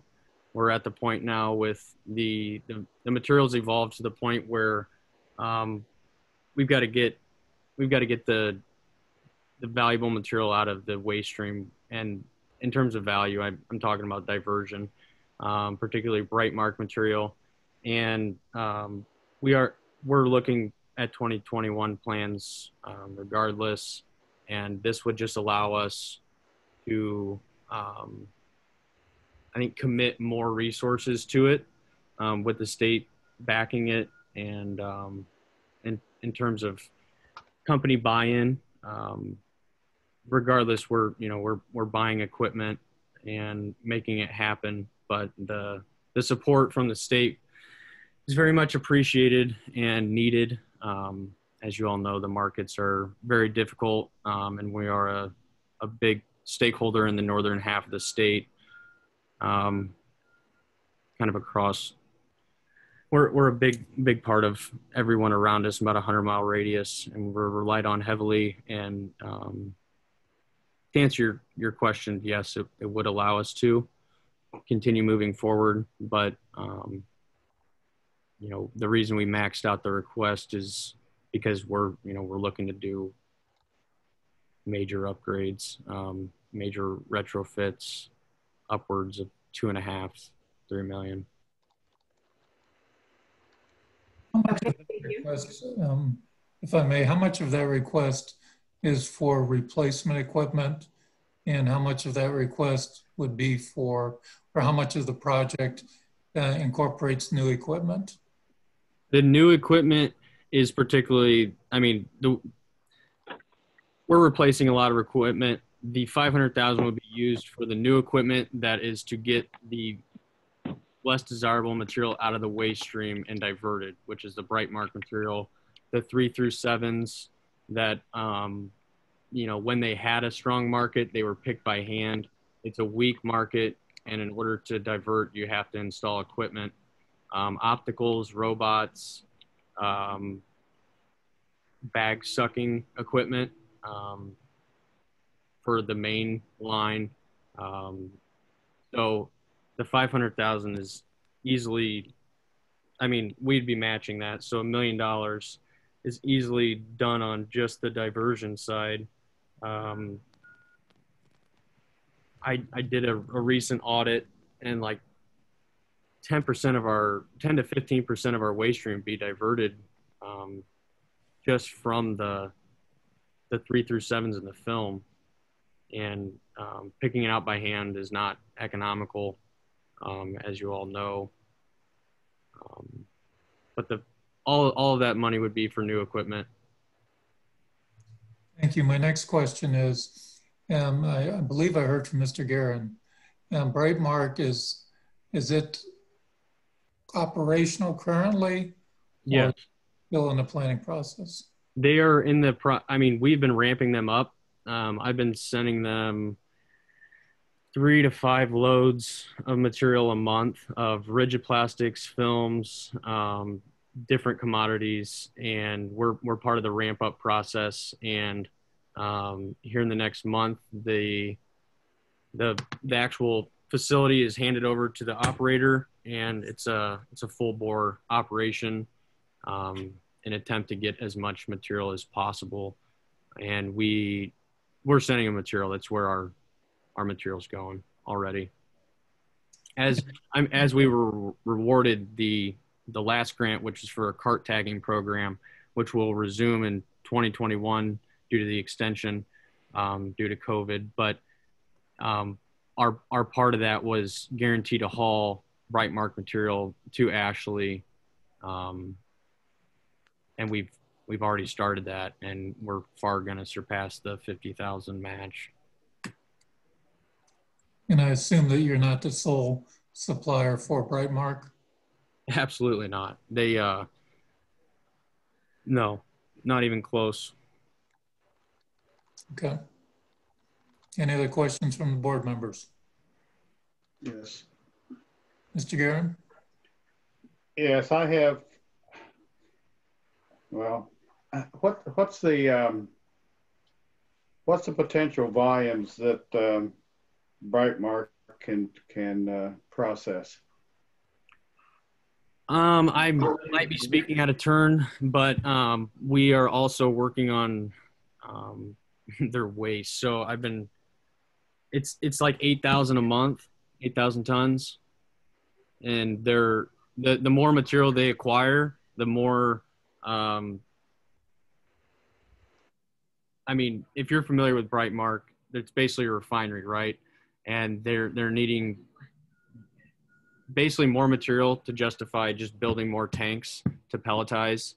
And um, they have all the room they've purchased all the land to grow. And so they're at the point where they're they're now waiting for the material um, which is you know they're networking heavily in michigan chicago but then they're going to open up districts all over the united states and use ashley as the hub that basically is the refinery of those pellets. Um, so 8,000 is a start. And um, so. Well, I, one of the other applicants that we discuss later on deals with the uh, pyrolysis of tires. And one of the problems in pyrolysis is uh, trying to figure out how you can have some kind of continuous flow uh, to it. So, not knowing exactly how Brightmark works, I would just ask if you don't have access to Brightmark, you still would be able to complete your missions, would you not? Yes, but we're signing a 10 year contract. So, um, just as we have to give them the material, they have to continue operating and be available. So, um, that contract's holding it pretty steady. that a put or pay contract? I'd say that again. Is that a put or pay contract? Do you have to supply so much material to them? Yes, we are. we are risking. Um, correct. And and that's part of the contract that we're not too fond of, but um, we understand why they need it. But if we were to lose, you know, staple contracts, say we, you know, this is undesirable material to begin with. You know, say the state of Indiana reduced their bag usage and film usage significantly, and all of a sudden we don't have 150 tons to ship to them a month. Um, there's, they say that we're responsible to help fund the finding of that material. So it's still in the, we're still in the stages of trying to write that differently um, because, you know, it's undesirable material to begin with. And then to I hope, I hope you do because I, um, I'm more concerned about them not being able to perform than you providing the material. So if, if you don't provide the material, you're penalized. What if they can't handle the material? Are they penalized? Um, I, I, I mean, I, I'm speaking out of term at this point, so I, I don't have the contract in front of me, and I'm, I don't know if I should necessarily share all the. I mean, I don't have it in front of me, and if I, if I knew the answer, I'd tell you. Well, that's, that's my only concern. I, if you, you have a good project. I'd like to see you funded uh, as much as possible, but that's my concern. I, I have real questions about that aspect. Mm-hmm. The uh, we'd still be pulling out film, and you're correct. We still would be able to make the end goal of diverting that that film, those three through sevens, and um, we're looking to make the changes where we can do it in an economical manner. Um, right now, you know, getting four people to pick film off a line doesn't doesn't make sense in today's economic realm. So, um, they, I know, I mean, they're back financially significantly. They're, you know, they're just putting a three hundred million dollar facility, but um, you know, that doesn't mean that they can perform. You're correct. And please um, don't take offense by our questions. Um, when we award monies and then those awards somehow fall apart through the contracting process, then we have others who do not obtain grant funding that um, lose out as well. So, you know, we're just trying to get a comfort level. Uh, and I believe I just heard you say that you are going to make improvements to your plant regardless of Brightmark. They're not instrumental in you making those changes, correct? Correct. Correct. That is that is very true. And um, one, the contract I would say holds the the significance of this is going to happen, and two, we're already shipping material there. Um, I was part of the building process. I went and saw it. I've been working on the trash contract as well. Um, it's very real, and um, we're watching them process it, and I've seen the pellets. So um, they're they're looking to be full bore within a month. Thank you. Any other questions from board members?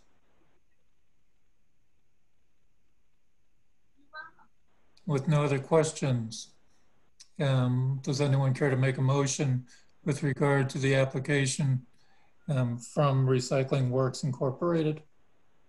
Bruce, I would like to make a motion to fund Recycling Works at four hundred seventy-eight thousand five hundred ninety-nine dollars and six cents. I would second. We have a motion by Ms. Weger and a second by Mr. Guerin. Do we have any additional uh, conversations, comments, questions? No, I just said, Kelly, what, which ones are you leaving off then? Which, which eight are you talking about? Leaving off the two that have the biggest numbers? Is that how you're getting to your, your total? Yeah, looking at, so there are three different score uh, sheets that we got in our summary, and the one that's the board specific, uh, the board scores, uh, those top eight are the ones that I'm looking at. So it would not, it would be reduced funding for recycling works and it would not include plus five or Dan Cristiani. Right. That's, okay. That's what I thought you meant. We have a motion by Ms. Weger. We have a second by Mr. Guerin. Any additional conversation or comments? Okay. Mr. Guerin? Yeah, I, yes, would you, the two that you're leaving off is plus five and urgent CNC, is that correct? Uh, oh, sorry. Uh, it'd be actually not including plus five, Dan Cristiani, and urgent. Well, I would concur on, on dropping plus five, but I would drop urgent CNC and, and I still would like to discuss uh,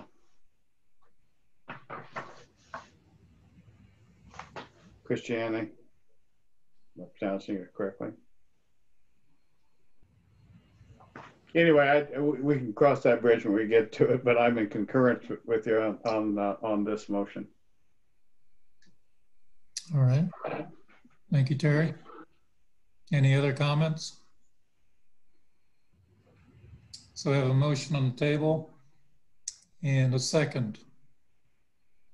Um, I guess we'll proceed with a roll call vote. Um, I'll start with Mr. Guerin, Yes. Mr. Abramowicz, Yes. uh, Ms. Weger, Yes. um, Mr. Gratz, Yes. Ms. Henry, Yes. Dr. Chen, Yes. and I vote yes. I don't believe I missed anyone, did I? Yes. That's me. Sorry. I appreciate all your support. I really do. Thank you, Mr. Miller.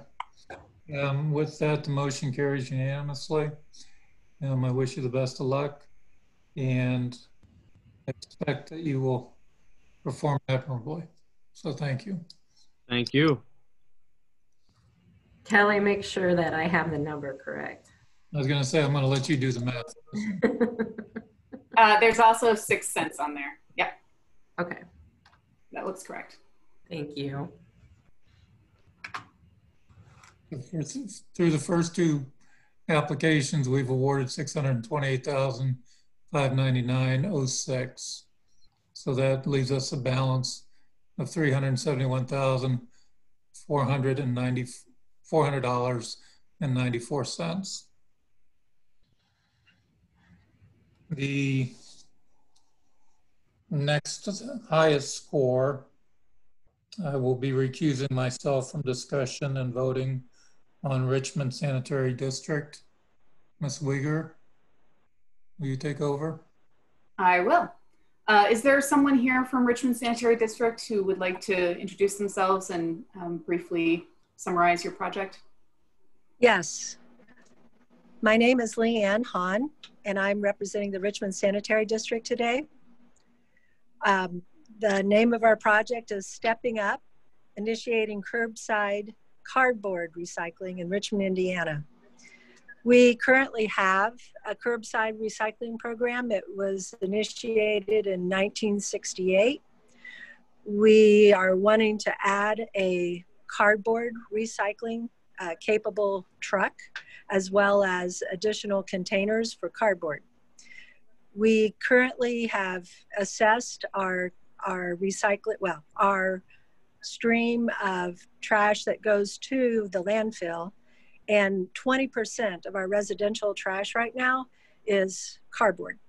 So we are thinking uh, we would like to divert that uh, stream out of our uh, landfill stream of trash.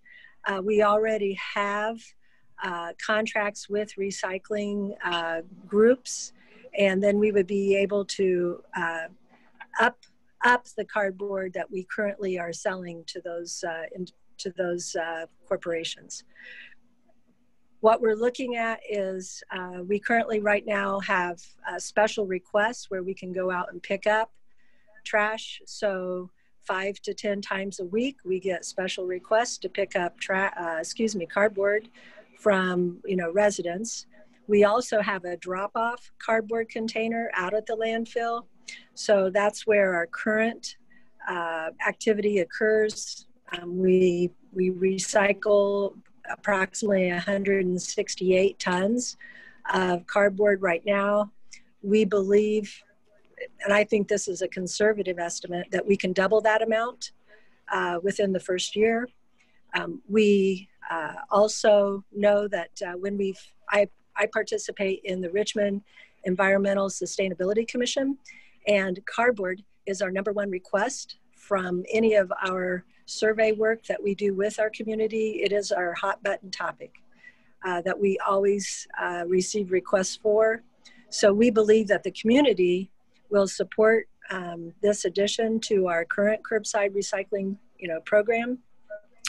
Um, our request is for uh, the total cost of the project is $440,000.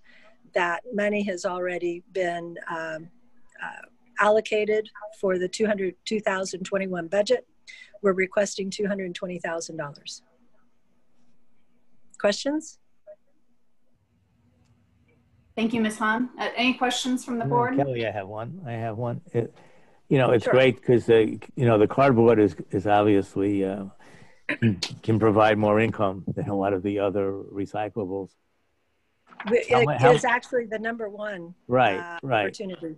Right. So, how much more do you think you? I'm just curious. How much more do you think you can bring in an income to the district by doing this?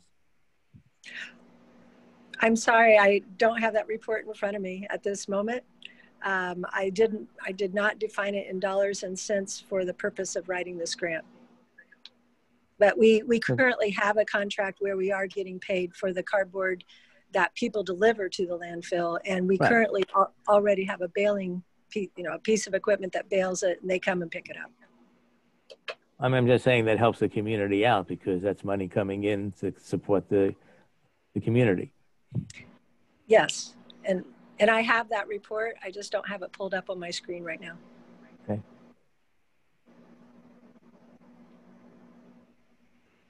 Any other Thank you for trying to help. Okay. Thank you, Ms. Hahn.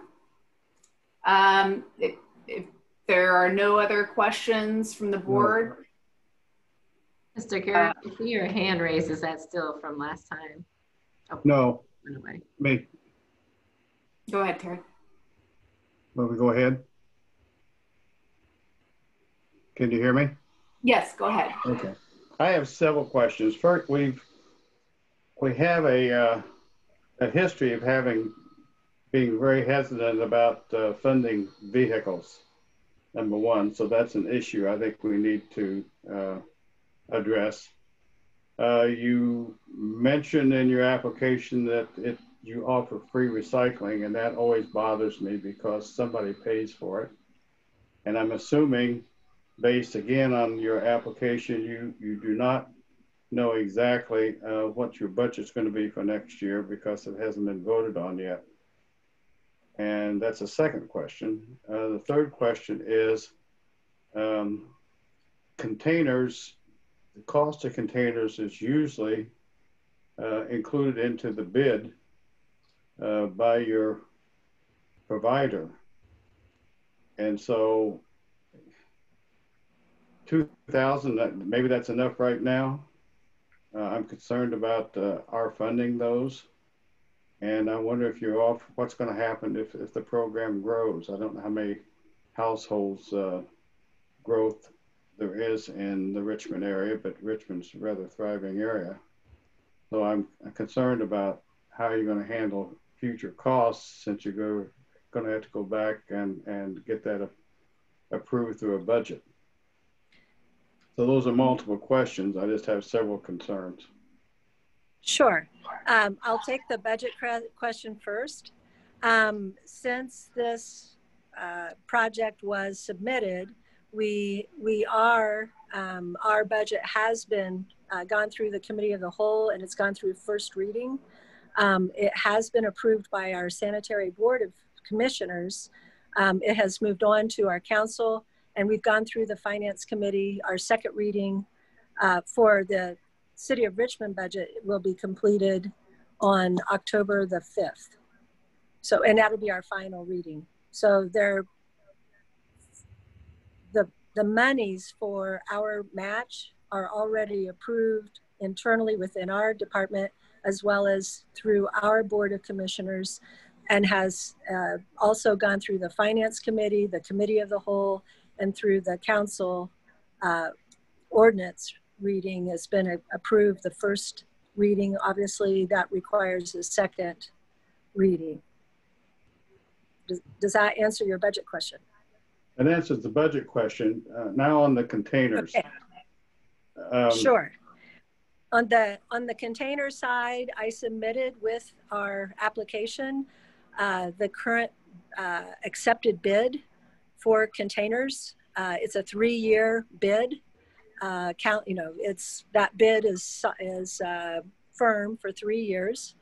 Uh, I, were you, did you happen to, I, I don't know if you happened to see that attachment or not. And that's, uh, and we have $140,000 in our budget each year for the next, for the five-year period uh, for container purchase. Uh, some of that obviously will go to replacement of containers uh, that are currently, recycling containers that are currently, you know, out in the community. But we do have, uh, we do have that dollar amount allocated in our five-year uh, pro forma, pro forma budget. Who owns the current uh, recycling containers? Does your? Uh, We, we own all of our own containers. Okay. We, we put our recycling out for bid. Again, that's a three-year uh, bid. Uh, that, you know, so we work with that uh, group for three years based upon the pricing. They, we have the ability to go out and rebid it every year if we want. If we're satisfied, we basically uh, just push that uh, that contract out for a, a second and a third year. And the truck. Yes. Well. I, okay, so does anybody else want to speak to the truck? Um, before we submitted this bid, we did make an inquiry uh, regarding the uh, appropriateness of asking for the recycling truck. So, um, and we received a, an affirmative answer uh, to that to that inquiry prior to writing this grant.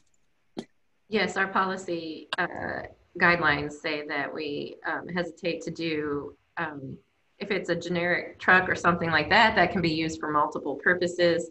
We don't like to fund those. However, um, it's a specialized truck that can be only used for the purpose that they are uh, set forth in their uh, project application. So we accept um, applications like that.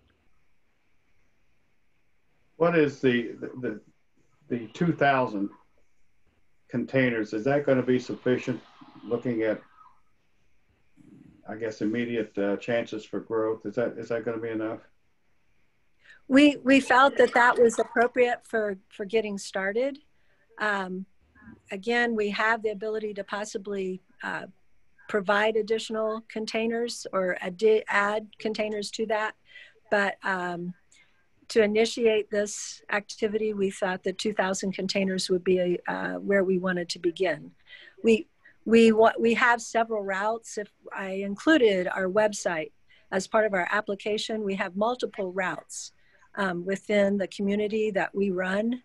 And so we were going to initiate uh, different parts of the community. We're going to start uh, with one route, get it up and running, then the following uh, month, get the next route, get the next route, um, so that we could, we, the rollout for this is, is going to be gradual. I mean, we don't want to start the entire town at the same time.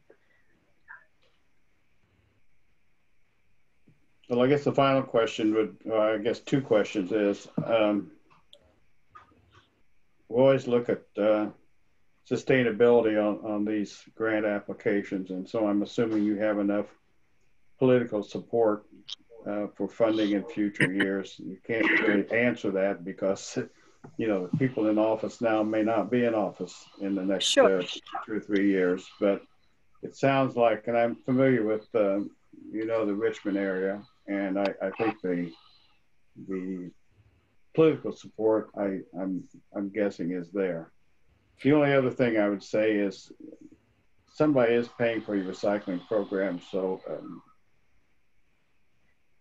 I don't like that word free recycling. Okay. Uh, I'll see what I can do it's a about, personal about that bias. It's a personal bias. I will just sort of raise uh, your awareness that our current curbside recycling program has an 84% participation rate I saw that. and that we are getting five to 10 requests from, you know, just uh, randomly from the community for cardboard. We believe it's the Amazon effect. Um, and I will say that when we did, uh, we have an approved ordinance specifically for this grant from the city council at this time. And we did receive favorable comments from three different council members, including the, the current chairman of the board. You- You've answered all my questions. Thank you. Thank you. Mr. I appreciate your interest.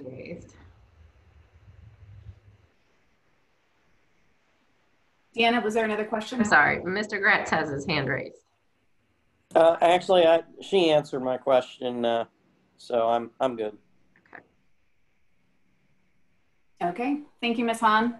And, and I will just share my personal opinion varies from Terry's in that uh, living in an area where I do where, where my trash pickup is free, I actually like when recycling is, is also included instead of being an add-on fee. Uh, I wish it was reversed, honestly, but that's just my personal opinion. Um, are there any other questions from the board? And if not, would anybody like to make a motion?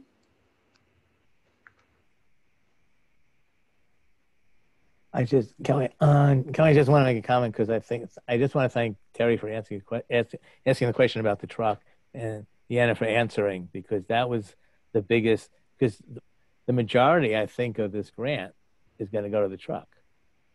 So that's why it's an important question to, to have answered, and I appreciate your answer because Terry is right. Usually we don't. I mean, you you answered the question. Just want to make sure that point is clear. Yeah, thank you. I, I do appreciate Deanna your your comment about the it's the distinction between having a truck that is specialized for recycling and couldn't be purchased and then flipped over to trash or something like that. Any other comments or questions? Okay, would anybody like to make a motion?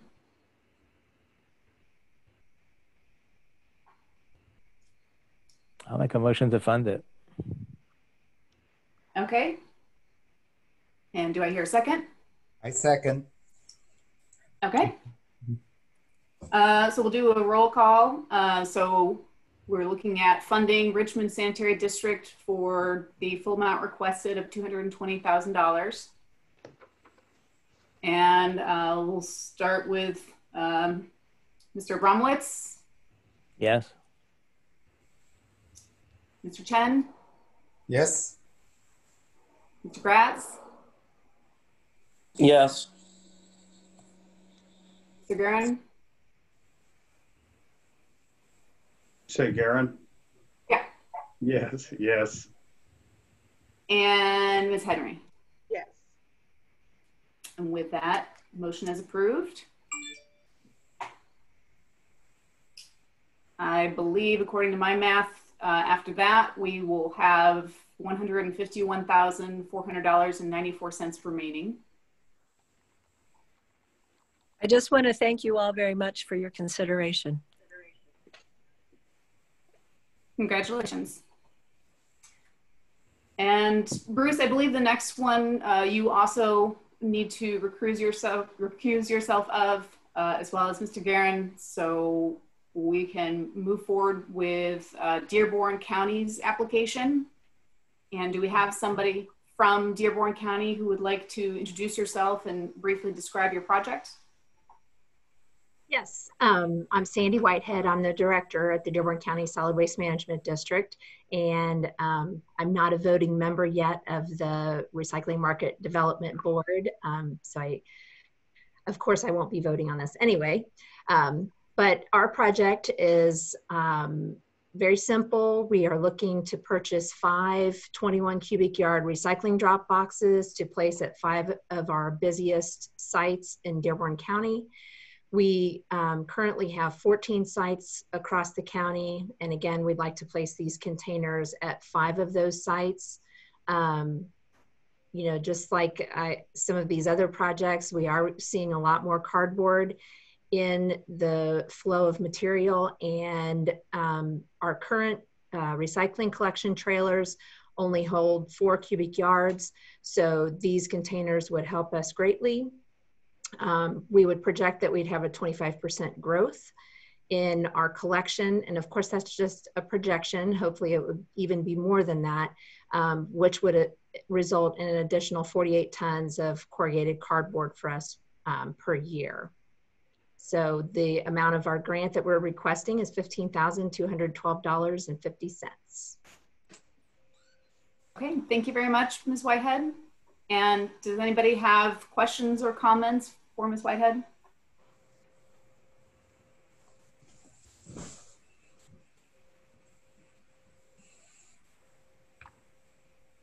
Okay.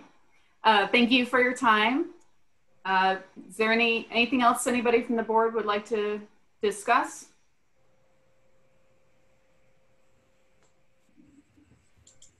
Would anybody like to Oh, make it just, just seems like it's the Amazon effect again. Cardboard seems to be the theme this year, that's for sure. Mhm.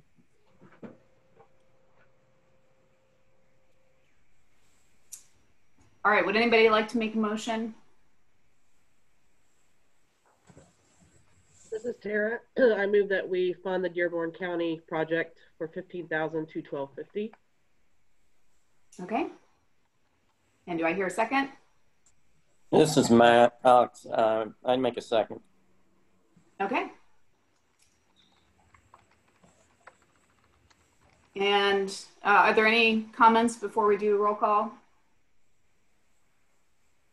All right, so for uh, Dearborn County, funding at the requested amount of $15,212.50. Uh, Mr. Chen, Yes. Mr. Brownwitz, Yes. Mr. Gratz, Yes. and Ms. Henry. Yes. All right, so that motion is approved. Thank you so much for your approval, uh, for your consideration and your approval. Kelly, are you putting your own vote on record? Oh, is that how I do it? I think I, yes, Bruce. I mean, I think I think you have a right. I'm new to to the vice chair thing. And, and Harvey's bringing that up uh, too, because we do need five votes on that one um, for our quorum. You will Okay. have to vote Kelly. My vote is a yes.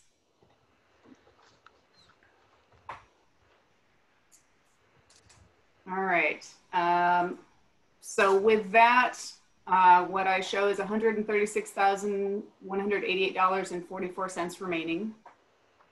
And I will turn it back over to Bruce. All right. Thank you, Kelly. The next highest scoring on the combined average is Rush County. Do we have anyone available for questions from Rush County?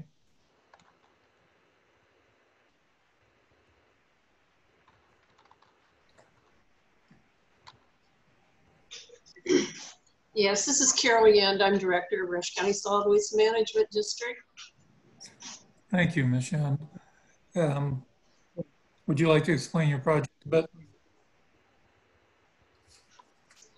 Um, the project is, is pretty simple. In May, things really changed with, with cost for the district. At one time, our cardboard was picked up at no cost and some rebate given back. That changed with um, a change in um, ownership of, of the uh, provider of the service. So uh, our, our costs increased exponentially uh, in, in hauling that cardboard. We're a very small district. Um, it's a drop-off center. The city does recycle cardboard in, in curbside recycling, but that's not part of the district's budget or responsibility.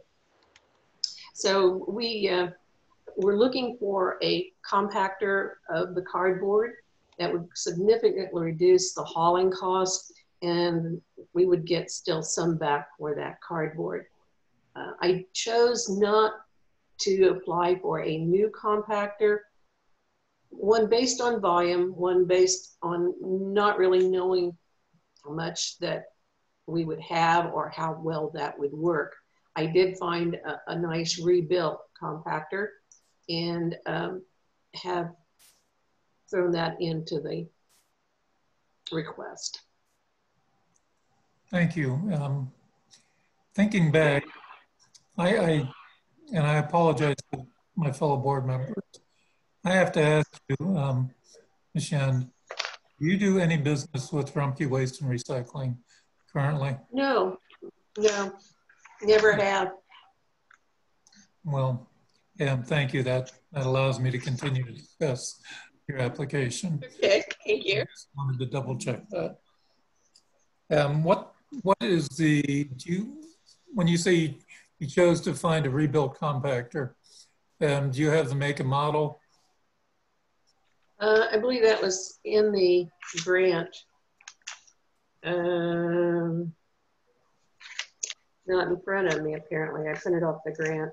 I wasn't even sure what to expect today and how to be prepared. So I, I do apologize. Um, maybe I do have that here close by.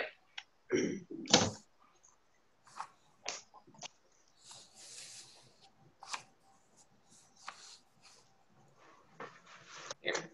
Here's the compactor folder. I think I can tell you. It was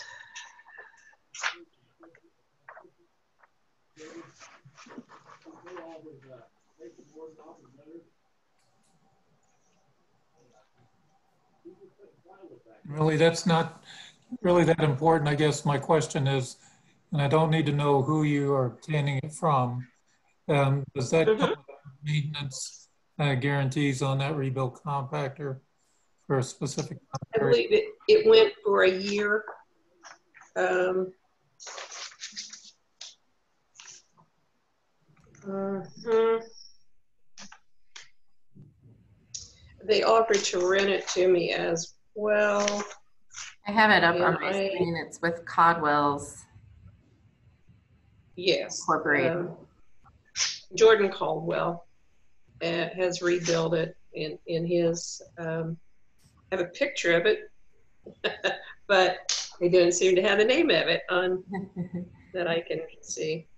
So um, one of the things that was included in this grant that might be a little different normally those compactors require three-phase electrical and that wasn't not available nor the cost of moving it uh, or, or, bringing it to the site. So uh, i had asked for a converter. And for that particular compactor i was told that that would be another $6000 and the reason i think that that could work is that um, we don't have a lot of volume. And that was another reason, there's the picture of the compactor. Um, that's another reason I didn't go full bore on this, that, you know, we were just going to buy a, a big, bright, brand new compactor and go. This was a minimal investment, um, yet it could prove the theory out. It fit in my budget, which is pretty small as a single district. So that was my logic for doing that. No, I see. What other questions can I try to answer? I see listed on the uh, proposal from Caldwell, a rebuilt two-yard stationary with a three-sided hopper, obviously, and a rebuilt mm -hmm. contained compactor. Um, which model are you choosing? Or are you choosing? The, it would have been, it, it could be either one. Probably we would go for the um, $9,000 one. They're, they're very similar. And Jordan, when he gave me the um, bid was we were going to do two of them because we had two cap containers. Um, I don't think we're going to need that with, with the um, compression. And a very interesting thing happened. These containers were only holding about a half a ton and being pulled so frequently. And I literally put up an arrow sign that said, this cost $150 for every pull. You need to flatten your cardboard or don't put it in there. And they flattened it and we doubled it. So uh, it's amazing what happens when you ask people to do the right thing. So I, I think one could cover it, and that's why I only asked for the one. But this this was the documentation, the quotation I had. And another question, I hate to rake you over the coals. Um, it's okay. um, you say you have a price per haul. Is that price per Yes. haul the same for each type of compactor? Um, no, I don't have the price. The price per haul would probably be for what we would compact with that. Um, I, I was told that that compactor could replace four hauls. So, and so hmm. I'm guessing that that's going to save agree with that a statement. amount of money. I, I would agree with that statement, but my concern is on the stationary model.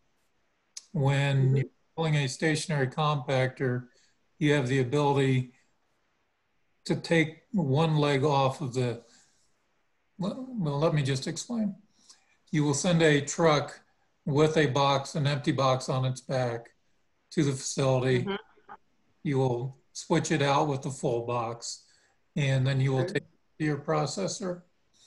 With the self-contained unit, you have to take a truck there with empty rails, pick up the self-contained unit, take it to your processor, and then you have a third leg of bringing it back, which is probably going to increase your haul charge.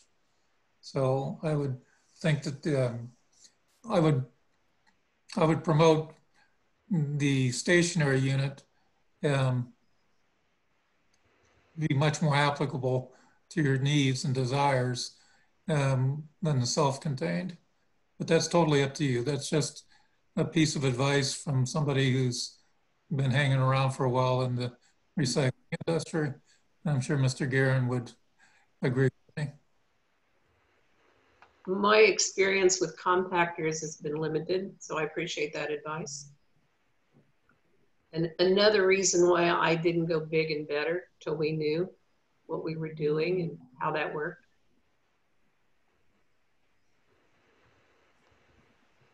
It looks like Mr. Guerin has his hand raised. Uh, I'm familiar with this this district, and Carol, you you have done wonders on a shoestring budget for years, so I admire you for that. I quite frankly was surprised, uh, surprised that you didn't ask for more money. And I would encourage you uh, that if this works well for you, uh, that you come back to us. Um, you know, at some point, to try to upgrade. But anyway, I, I am fully supportive of, of uh, what you have done with that district, and I'm very supportive of your application. By the way, is Jordan, is he on his own now, or is he still with CGS? Yes. No, he's totally away from that. CGS is sold out to Advanced, and I guess Advanced is then to Waste Management, although that hasn't been totally cleared up yet because of I, I, I, knew that, I, I knew that Waste Management owned it now. I just wondered whether he was still with the company or not. Jordan is not. No, he, he's taken the, this equipment side and, and apparently worked with it somewhat Okay. and Thank you. rebuilding. Yeah, so thank you. And thank you for co- the compliment. Yes, I do operate on a, on a shoestring and, and probably think inappropriately that way that I could ask for more. So um, unfortunately, I have to match that. And my county council thinks that my shoestring should be much shorter. But thank you, Terry, for those comments. That uh, gives me, you know, a better feeling. And um, Carol, thank you very much. I know you're doing a wonderful job with Mr. Guerin's support. So, any It's the first time I've talked to Mr. Garrett in what, three years, Terry? Good to see you. See you. Any other questions or comments from board members? Could I make a motion, Mr. Chairman? You may. I uh, move that we uh, fully support and fund the application from Rush County District. Okay, We have a motion to fund Rush County in the amount of $10,050. And do I have a second? I'll second. This is Kelly. Thank you, Ms. Weger. We have a second from Ms. Weger. Um, Any additional discussion required? With none, we'll do a roll call vote. Uh, Ms. Weger, Yes. Professor Abramowicz, Yes. um, Dr. Chen, Yes. Um, Mr. Gratz, Yes. Mr. Guerin, Yes.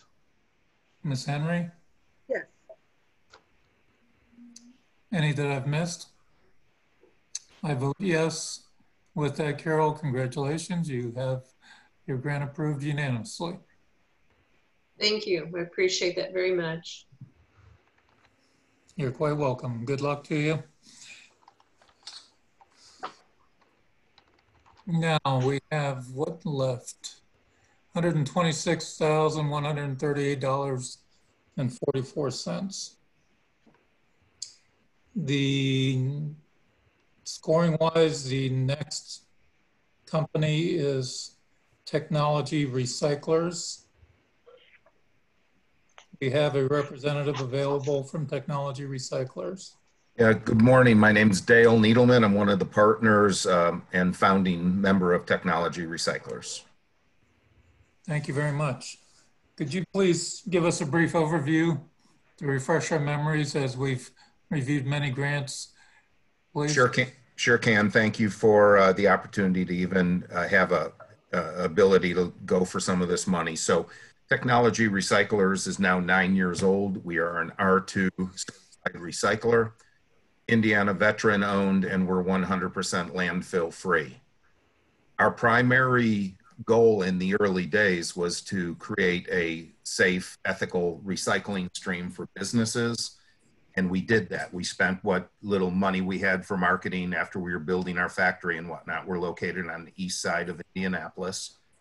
Um, we went after businesses and created a solution for them for their e waste. And in doing that, we became R2 RIOS certified. Um, and, you know, we uh, protect data as well as protecting the earth. Along the way, we took on uh, the mission of saving the earth and the people in it. Our tagline is the official sponsors of tomorrow.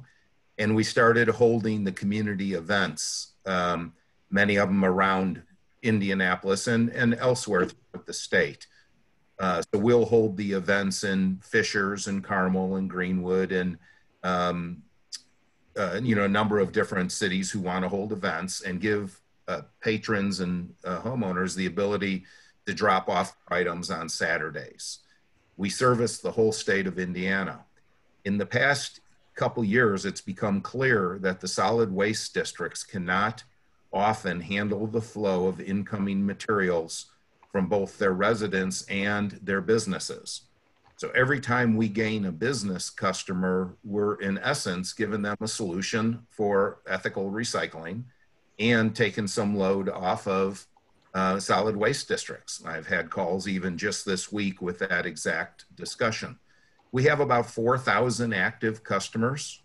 Uh, we have 32 employees. We run four box trucks uh, and some semis in and out of the Plainfield area. Um, and soon, um, I believe, we'll be voted in to take on yet another solid waste district. The purpose of our grant is to actually spend some specific money marketing to the people of the state of Indiana, both businesses uh, and residents, about the importance of uh, safe and ethical electronics recycling. In doing so, yes, our tonnage is going to go up. We have room for it. We run our own shredding systems in our building. We have the employees for it. We have the space for it, et cetera.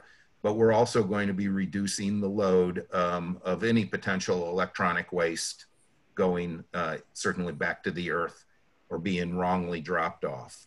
Um, the last comment I'll make is we've seen um, communities that offer recycling um, report to us that they're not cleaning up illegally dumped materials in the back of parking lots, end of streets, or even in ponds or streams.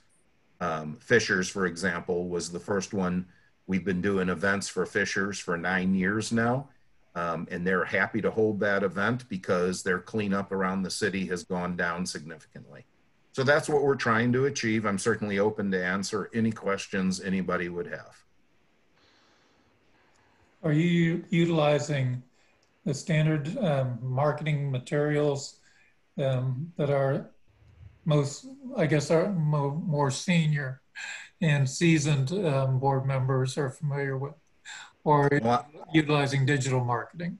I'm a senior guy myself, and so um, I think we utilize a full array of it. I've uh, been connected with a, a, much younger gentleman than me who's helped us to become digital, electronic, and fully uh, available on social media. But we're also doing some advertising in uh, the IBJ. We've done some radio. Um, I'm not a big fan of billboards, but some of you might have noticed our buses running around the city. We're the guys with the multicolor trucks, and we always have a bus as marketing um, for the first six years of our business so the people of downtown Indy, the businesses learned who we were. So we, we do a bunch of both, if you would. Um, this campaign, a lot of what was written into it was educational materials, where instead of now, I, I guess I'd like to say we're enjoying a little bit of luxury that we're not scrambling to keep our business growing and alive. We've been successful. We're very lucky like that. We provide a good service I think we have over 250 five star reviews on Google saying that our service is impeccable, on time, clean cut, and we do what we say. Um, but I want to go and market more so that people understand the importance of it, the actual education side of electronics marketing, and then give them a solution. Thank you. I congratulate you on your five star Google re reviews. Um, Thank you. Your digital marketing man will be very pleased with that and his ability to work with that moving forward. He, he is, and I, I thank you for saying that. Our customer service is the difference. Um, I've spent most of my life running large companies from an operational standpoint. So I believe we understood what it took to walk into a person's business and provide them five star service. And that's frankly why we've been successful. Very good. One other one other thing I'd like to say, I'm sorry, I, I know you, we're time sensitive. The thing we did different than anyone else is our service is free. We do not charge you anywhere in the state of Indiana to go to your business, pick up your electronic waste, and guarantee it destroyed. It's very interesting. Um, Terry and I are probably the same mindset. How do you manage to accomplish that? It's uh, it's been a challenge, but we're efficient. Uh, we have learned how to handle the materials quickly and destroy them. We've built our own shredding and separating systems, and it's all about material in and material out. The only thing we charge for, of course, we don't have a choice anymore, are CRT monitors and, and becoming to be most TVs. But that's a charge that people can pay at a reduced rate. Thank you. You're welcome. Questions from board members? May I ask a question? This is Senator Breaux. I have my hand raised. Sure. Certainly. Um, you said that you operate on the east side of Indianapolis. Where where are you located? We're on Franklin Road in what was the old Marsh Distribution Center. Oh, okay. Franklin in Washington. Well, then congratulations. You're in my district, and it's wonderful wonderful to have you in my district. I don't have a lot of uh, five-star businesses located there. Um, I would love to see if there's an opportunity offline to perhaps do some kind of a partnership uh, where I can get folks in my community to uh, um, drop off their, their items to you. We, we would enjoy that and I'd welcome you to come take a tour, anybody for that matter. Uh, we're pretty open about what we do. Um, and I will tell you, we receive about 20 uh, drop-offs from homeowners a day. Well, if it's okay with you, I'll, I'll reach out to uh, Deanna to get your contact information. Please do. I look forward to it. Thank you. Congratulations. Thank you. Thank you, Senator Breaux. Any other comments? Yes. Mr. Guerin. Uh, just one question. Uh, do you Yes. ship any waste overseas? Unfortunately, we do. Um, there's no way around. Most of the plastic goes back to China and has. That's changed, of course, in the past two years. Um, and smelting that we do of uh, our precious metals go through Chicago. We shred it. It goes through Chicago and it ends up in Japan to be smelted. And that's mostly because those uh, services aren't available in the United States. What about waste? Um, well, the only waste we have. So first of all, is we try to reduce what we take or restrict what we take. We try not to accept wood um, or paper, if it, if you will. Just we're not a paper recycler.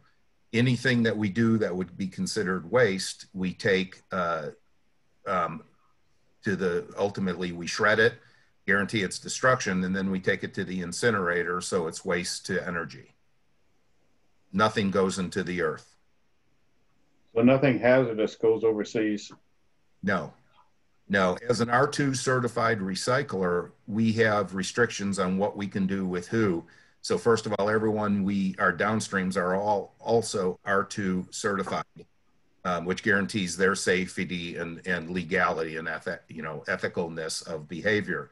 And we have an outside uh, third party quality consultant who watches over our program. Thank you. You're welcome. Any other questions or comments?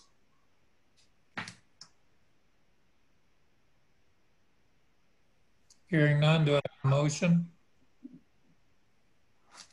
So move.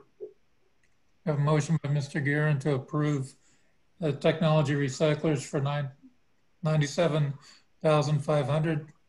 Don't let me put words in your mouth, Terry. Let me check to see what the amount was.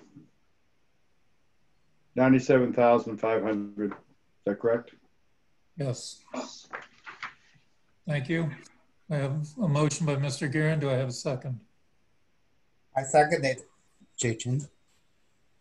A second by Dr. Jin. Thank you. Um, any additional discussions necessary?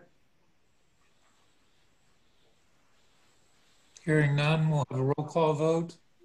Uh, Ms. Weger, Yes. I, I apo- I apologize, was that a yes? Yes. Professor Abramowicz, Yes. Mr. Gratz, Yes. Mr. Guerin, Yes. Ms. Henry, Yes. Mr. Chen, Yes. and I vote yes. So you, um, we have a unanimous approval of your request for ninety-seven thousand five hundred dollars. Congratulations, sir. Thank you very much. We appreciate it. We'll make you proud how and how we use it, and uh, I'm sure we'll see you back here again. We'd like to visit your facility at some point in time and just Please make a connection to do so. I'm happy to tour uh, any of you anytime. I know the IDEM people have been through, and um, we don't mind showing off what we've built. Well, I, I also recommend highly that you speak with Senator Breaux. She has been a champion of our program for many, many years. I will do it. Thank you very much. I will do it. Thank you for that.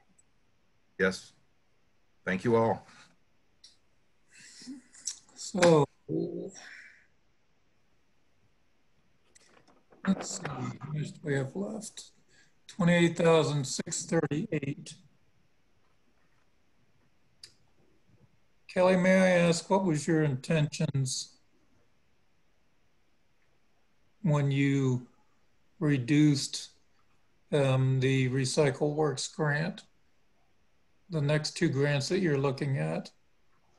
Yeah, the next two that I was looking at that I would like to, to see funded were, were Rethink and Elliott Companies of Indy. And both of those were in the board's um, top eight. So this is based off of the board average scores. Correct. And for everyone on the call, please understand that those of us who recused from your application, there was no score given um, to your application by any of the recusals. So um, I think we're doing everything above board and as transparent as possible. Um, so the next then would be Rethink Incorporated. And do we have a representative from Rethink Incorporated available? Hi, yes, my name is Rebecca Bursich. I'm the president of Rethink and also a professor at Rose-Hulman Institute of Technology. I think also on the call we have our uh, executive director, Shika Bhattacharya, and our operations manager, uh, Megan Mons. Um, so the purpose of the Rethink Plastic Upcycling Center is to uh, divert plastic from landfills and then also to serve as an educational uh, collaborative workspace for the community and students at Indiana State University and Rose-Hulman. Um, so for example, I'm personally overseeing projects right now in automated plastic recycling, as well as uh, new opportunities for PET recycling. Uh, so the Upcycling Center is already serving as a hub for um, activity for students and researchers and community members who are interested in making strides in plastic recycling. Um, so this grant would allow us to purchase equipment to scale up our collection and processing, uh, as well as purchasing equipment to open up our downstream reforming processes. Uh, so sheet pressing and extrusion, and injection molding since we're already able to shred. Uh, so I would um, be happy to answer any questions from the board and uh, Shika and Megan may also uh, chime in if they're better able to answer. Do we have any questions from board members?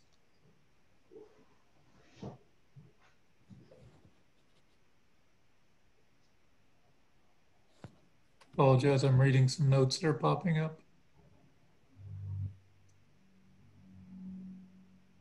Yes. I, Terry? I just, I think you could use more money. I don't think you asked for enough.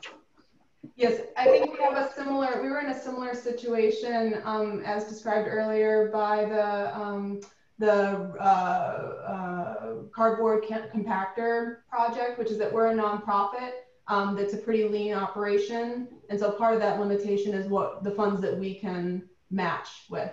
Um, so we were cognizant of that in putting together our application. Understood. Thank you. Mr. Chairman, could I make a motion? Absolutely. I would move that we uh, fully fund their project at ten thousand, if I'm reading it correctly, ten thousand four hundred and fifty-four dollars. We have a motion to award Rethink Incorporated ten thousand $454. Do I have a second? I'll second. Is that Ms. Weger? Yes. A second by Ms. Weger. Any additional discussions? Hearing none, we'll have a roll call vote. Uh, Professor Abramowicz? Yes. Mr. Gratz? Yes. Mr. Guerin? Yes. Ms. Weger? Yes. Uh, Ms. Henry? Yes. Dr. Chen? Yes. And I also vote yes. Congratulations. Um, I'm sorry you've popped off my screen, so I don't know your last name. Thank you very much. We really appreciate your support. Thank you very much for your presentation and good luck. And uh, sometimes those short shoestrings, they'll turn into longer ones. So good luck. So. Um, with that, now we have the 18,184.44. He does excellent math.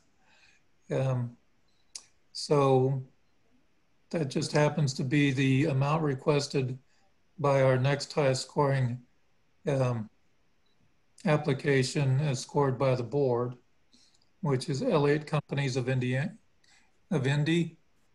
Do we have any representatives available from Elliott Companies of Indy?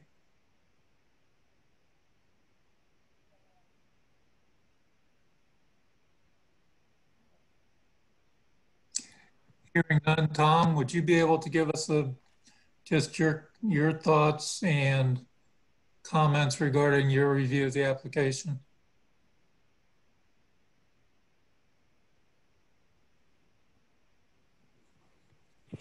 Are you out there, Tom? Good. Yeah, finding my my mute button. Um, yes. Um, so the company is a manufacturer of polyisocyanate uh, foam blocks. Um, I haven't toured their facility, but um, yes, they, they make a, a very good product. Um, but in doing that, um, there's trimmings uh, uh, from the fabrication of these blocks that uh, used for insulation purposes, um, um which goes to a landfill. Uh, and yet some of these, um, well, there's two types of waste that they're generating within their facility. Is the trimmings as well as some of the blocks that, that don't meet uh, specifications. So they just um, are taken to a landfill, uh, 500 tons per year. It's a big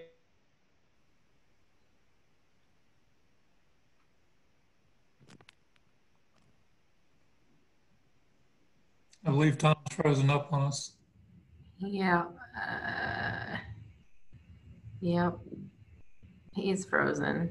It may just take a moment. Sometimes uh, it hops right back in. I was um, pulling up their application so that we could view it.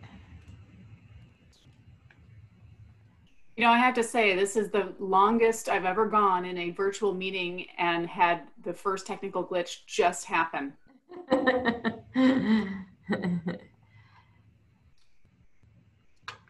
Hopefully. Give all that credit to Deanna. Oh, no, I'm just, uh, good luck. um, I will say my comments on Elliott Company is that it's a different uh, kind of proposal uh, that we haven't funded in a while because we're talking about a research project. Um, With expanded polystyrene or was it uh, polypropylene?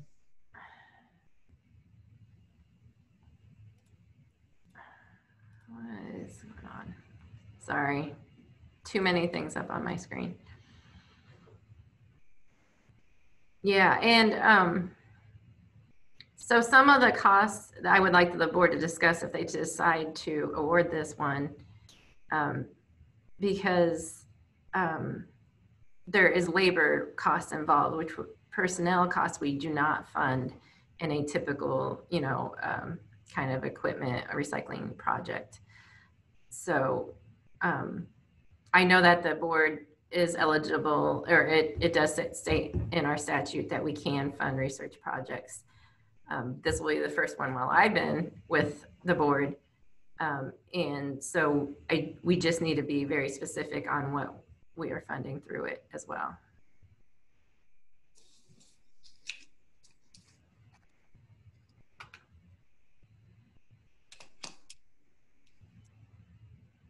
You know, are you for a research project? The majority of the funding is um, labor costs. So out of that, out of their request, you've excluded the labor cost in the eighteen thousand one eighty-four forty-four, correct?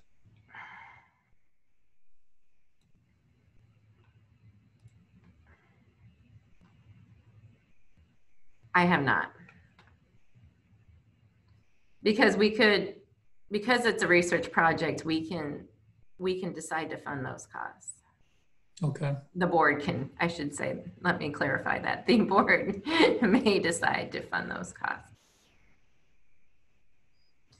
I'm going to uh, share the proposal in that breakdown of costs.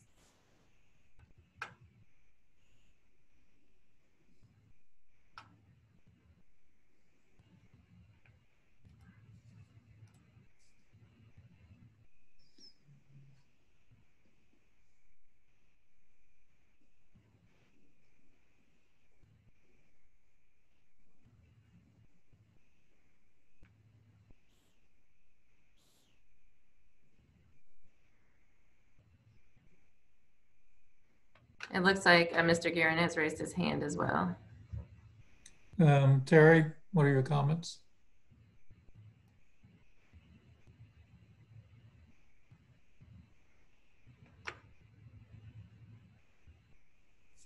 Mr. Guerin?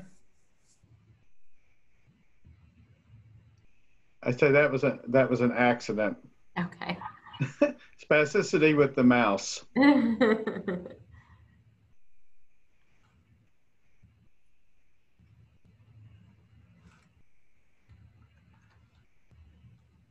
Kelly, do you have any comments with regard to this application?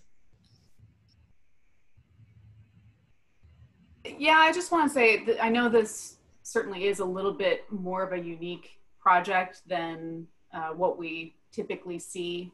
Um, I did have the same kind of question about labor, but because of the nature of the project, and in my view, it makes sense in this case. So I personally think that it, it is a worthwhile investment to see what what they're able to develop as a result of this research project and uh, so I, I support it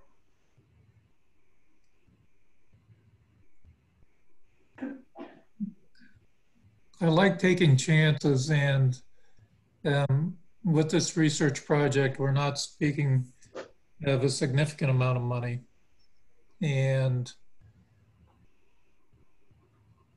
you know, if we can f- happen upon something new, it obviously is well worth the investment. So I would agree with Kelly yeah, that um, this project would have my support as well. bruce i'd like to make a motion to uh, to support and fund this project for the full amount requested a motion by Ms. Weger for eighteen thousand one eighty-four forty-four for Elliott Companies of Indy. Do I have a second? I'll second it. This is Matt. Second by Mr. Gratz. Thank you, Matt. Um, Any additional discussion? With none, we'll have a roll call vote. Uh, Ms. Weger, yes Professor Abramowicz, Yes. Mr. Gratz, Yes. Mr. Guerin, Yes. Ms. Henry, Yes. Dr. Chen, Yes. And I vote yes. So there's unanimous approval. Motion carries. Um, Rethink, or I'm sorry, Elliott Companies of Indy will be awarded eighteen thousand one eighty-four forty-four, which depletes our funding uh, that is available for this year. I will, I do want to comment that um, we had several more dollars requested. I wish we would have had $2 million because we have a couple additional projects that are very worthwhile. And I, you know, wholeheartedly hope that you will consider rolling that application into next year's funding round. So my thanks to all the applicants. Um, it was a, it was a good year. And my thanks to all the board members and staff for their time and effort in reviewing all of the applications. Um, also appreciate all the support by staff. So thank you all very much. Um, next, Apologize, my paper all shuffled up. Go ahead. Uh, Pat Daniel would like to take a moment to address the board. Hello, Pat. And Pat is, you're, you are still muted. There we Yeah, go. I'm sorry. I keep forgetting to do that. Um, I just wanted to um, get the board's permission to do um, to submit our legislative reports to the legislature. They're due to the legislature by November 1st. Um, and as you know, the Recycling Market Development Board report and the recycling report has to be approved by the board. Um, what we'd like to be able to do is submit that on behalf of the board in time so they can get it since the board doesn't meet again until after that due date. Um, we, when we submit it mid-October, we will submit a copy to the board members as well, but we would like to know if it's okay with the board if we go ahead and submit that um, on your behalf um, to the legislature so they have it before November 1st. I have a motion to grant permission to submit and staff to submit um, the report um, from a board member. May, may I ask a quick question? Certainly. Um, this is a budget year and you have a number of elected representatives on this board. Um, if we're, we're already very concerned about the $1 million that's being withheld. Um, but if there are other areas of concern um, that you think legislators would be helpful, um, if Pat or someone could reach out to us or me or something so that we could try to um, advocate on your behalf uh, the, during this budget cycle. Absolutely. And we certainly always appreciate your support. So any board member that, um, should they just reach out to you? I believe it was Senator Breaux, correct? Yes, that is me. And, and yes, feel free to reach out to me. And I will see that the other board members, or at least uh, Representative Errington um, and Representative Schaibley and Senator Buchanan, I can make sure that they are aware of whatever your concerns are. Thank you. Any other comments from board members? Yes. Do I have a motion to and give them permission to submit the report on our behalf? Terry, did you have a question? Yeah, I just um, would just reach out and, and offer input from the, the solid waste industry. You could do that through me uh, because we are the ones that are supplying the monies to that to those funds. And while it certainly is the state's prerogative to do with whatever they want with those monies, I, I, I do think input from us might be helpful. I would agree. And I would uh, make the motion to approve the request. Okay, let me just clarify. The reports that we have to submit is the annual reports that we submit every year, just about the status for 20, it'd be for 2019 data um, and what the board accomplished in the last year. Um, so we have to submit an annual report on the board activities every year, as well as e-waste. And we usually submit those, give a presentation to the board once a year on both of those reports before we submit them. Um, so that's the kind of information that's in those reports. And, and Basically, I, is how the money was used. And Pat, I understand that, and I understand you're looking at a report uh, report for 2019, but we Correct. are approaching a budget year, and I don't Right. know if you're the appropriate person that that question that I posed should go to, but um, whom, whomever through IDEM through this organization that um, wants to um, give us any kind of information as to how we can advocate for budget uh, you, you know, we will certainly be fighting to, to restore the 1 million or get it released. I know I will be. But um, if there are other areas, if, if you're not the right person, um, whomever that is, please reach out to me. Okay. And that's who I'm offering support to. Okay. Terry, can you um, rally um, any support from NSWMA? Yes. Good. And, that, and that's basically what I was referring through the, the state chapters, what I was making reference to. Okay. Because that organization represents, of course, all of the solid waste industry. Thank you. Allison, are you still on the call? Allison Mitchell?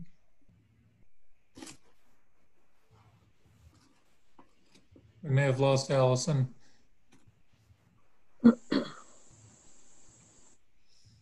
All right. Any other comments? Board members? Do I have a motion to allow um, Pat to submit on our behalf for 2019? So move. Do I have a second? No.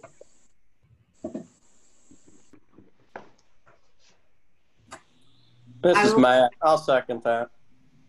Second Matt, by you're gonna have to thumb wrestle me for it. So we have motion and a second. Any other, other discussion?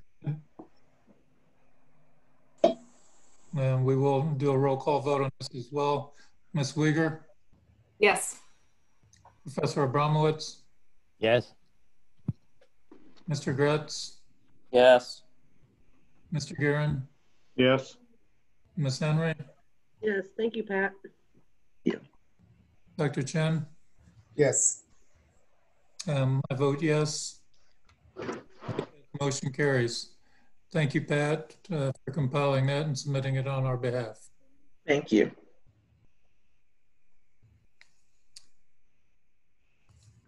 All right. Um, now we're down to the other category. The first item I will say is our next meeting date is November 5th of 2020. And I'm sure we'll be fluid in our decision whether it would be still a virtual meeting or an in-person meeting. I kind of tend to believe we'll still be in a virtual mode during that period of time. No biting that. That's not for chewing. And um, Christmas tree cat. the other thing that I, I did want to again thank Professor Abramowicz and Dr. Chen for their commitment and their support uh, during their terms on, on the board. We certainly appreciate it and uh, can't thank you enough. Um, are there comments from anybody in the audience um, who wants to speak at this time? This is Dale from Technology Recyclers. I think this is probably the first time in many years I sat through uh, one of these whole meetings. I applaud you on uh, the efficiency and the work uh, that you did and your methodology. So uh, thank you for your uh, the work that you're doing on all of our behalves. Thank you, sir. Uh, Speaking on behalf of the board, we appreciate your comments. Yep, thank you.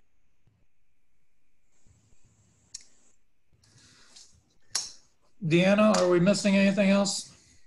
I don't think so. Um, we definitely, as you mentioned, um, next meeting, November 5th, um, we will be fluid. Uh, we will definitely be offering for the near future or into the, into next year, um, some sort of hybrid option to, oh, if we do um, begin to move back to in-person meetings, um, we will still plan on offering a Zoom option. I commend you I have some exciting um, presenters that I hope to have for the next meeting. And we will do the recycling and e-waste reports as mentioned. We will still report on those. it's great how you've been able to accomplish a meeting such as this, as well as you and all, all the support staff, and from Julia all the way down to the board members. Um, This has been interesting. It's, I think it's been effective. Um, it gives us so many options to protect those who are at a higher risk category moving forward. So thank you very much for getting all the approvals, whether it's from legal or wherever, to, to accomplish this. We certainly appreciate it. Um, any other meeting notes from any of the board members? Bruce, I just want to say something, if I may. Absolutely, Professor. I just, I, I don't know if everybody saw what I put in the chat, but I really do appreciate being on the board. I want to thank everybody who served on the board. the current board and, and everybody from the past, the whole staff from IDEM. I've worked with people from IDEM, like Tom, for seems like ever, and and all the legislators who've been involved from the state. Um, it's really been a, an enjoyable experience all these years, and it's been quite a few years. Uh, Bruce, I think you'll acknowledge that.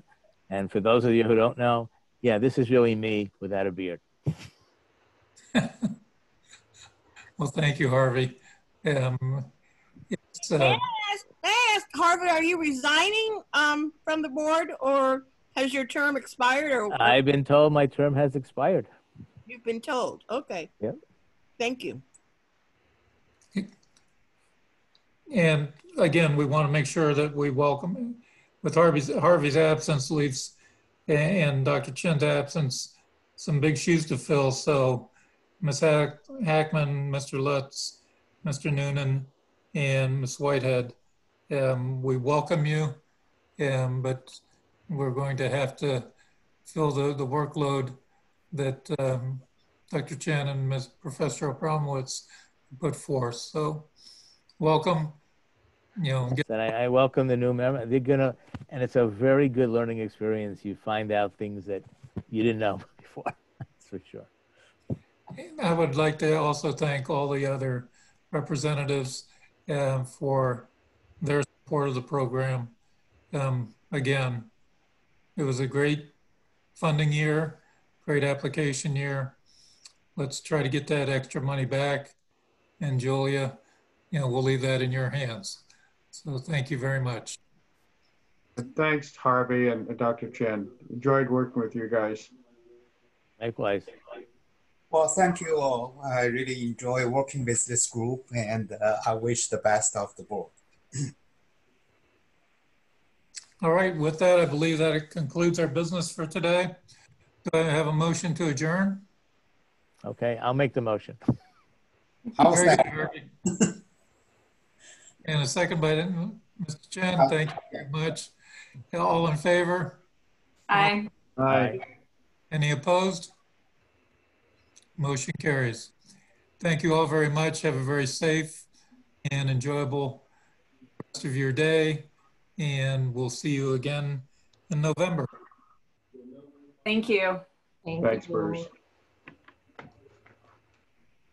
Thank you. And bye, uh, Deanna.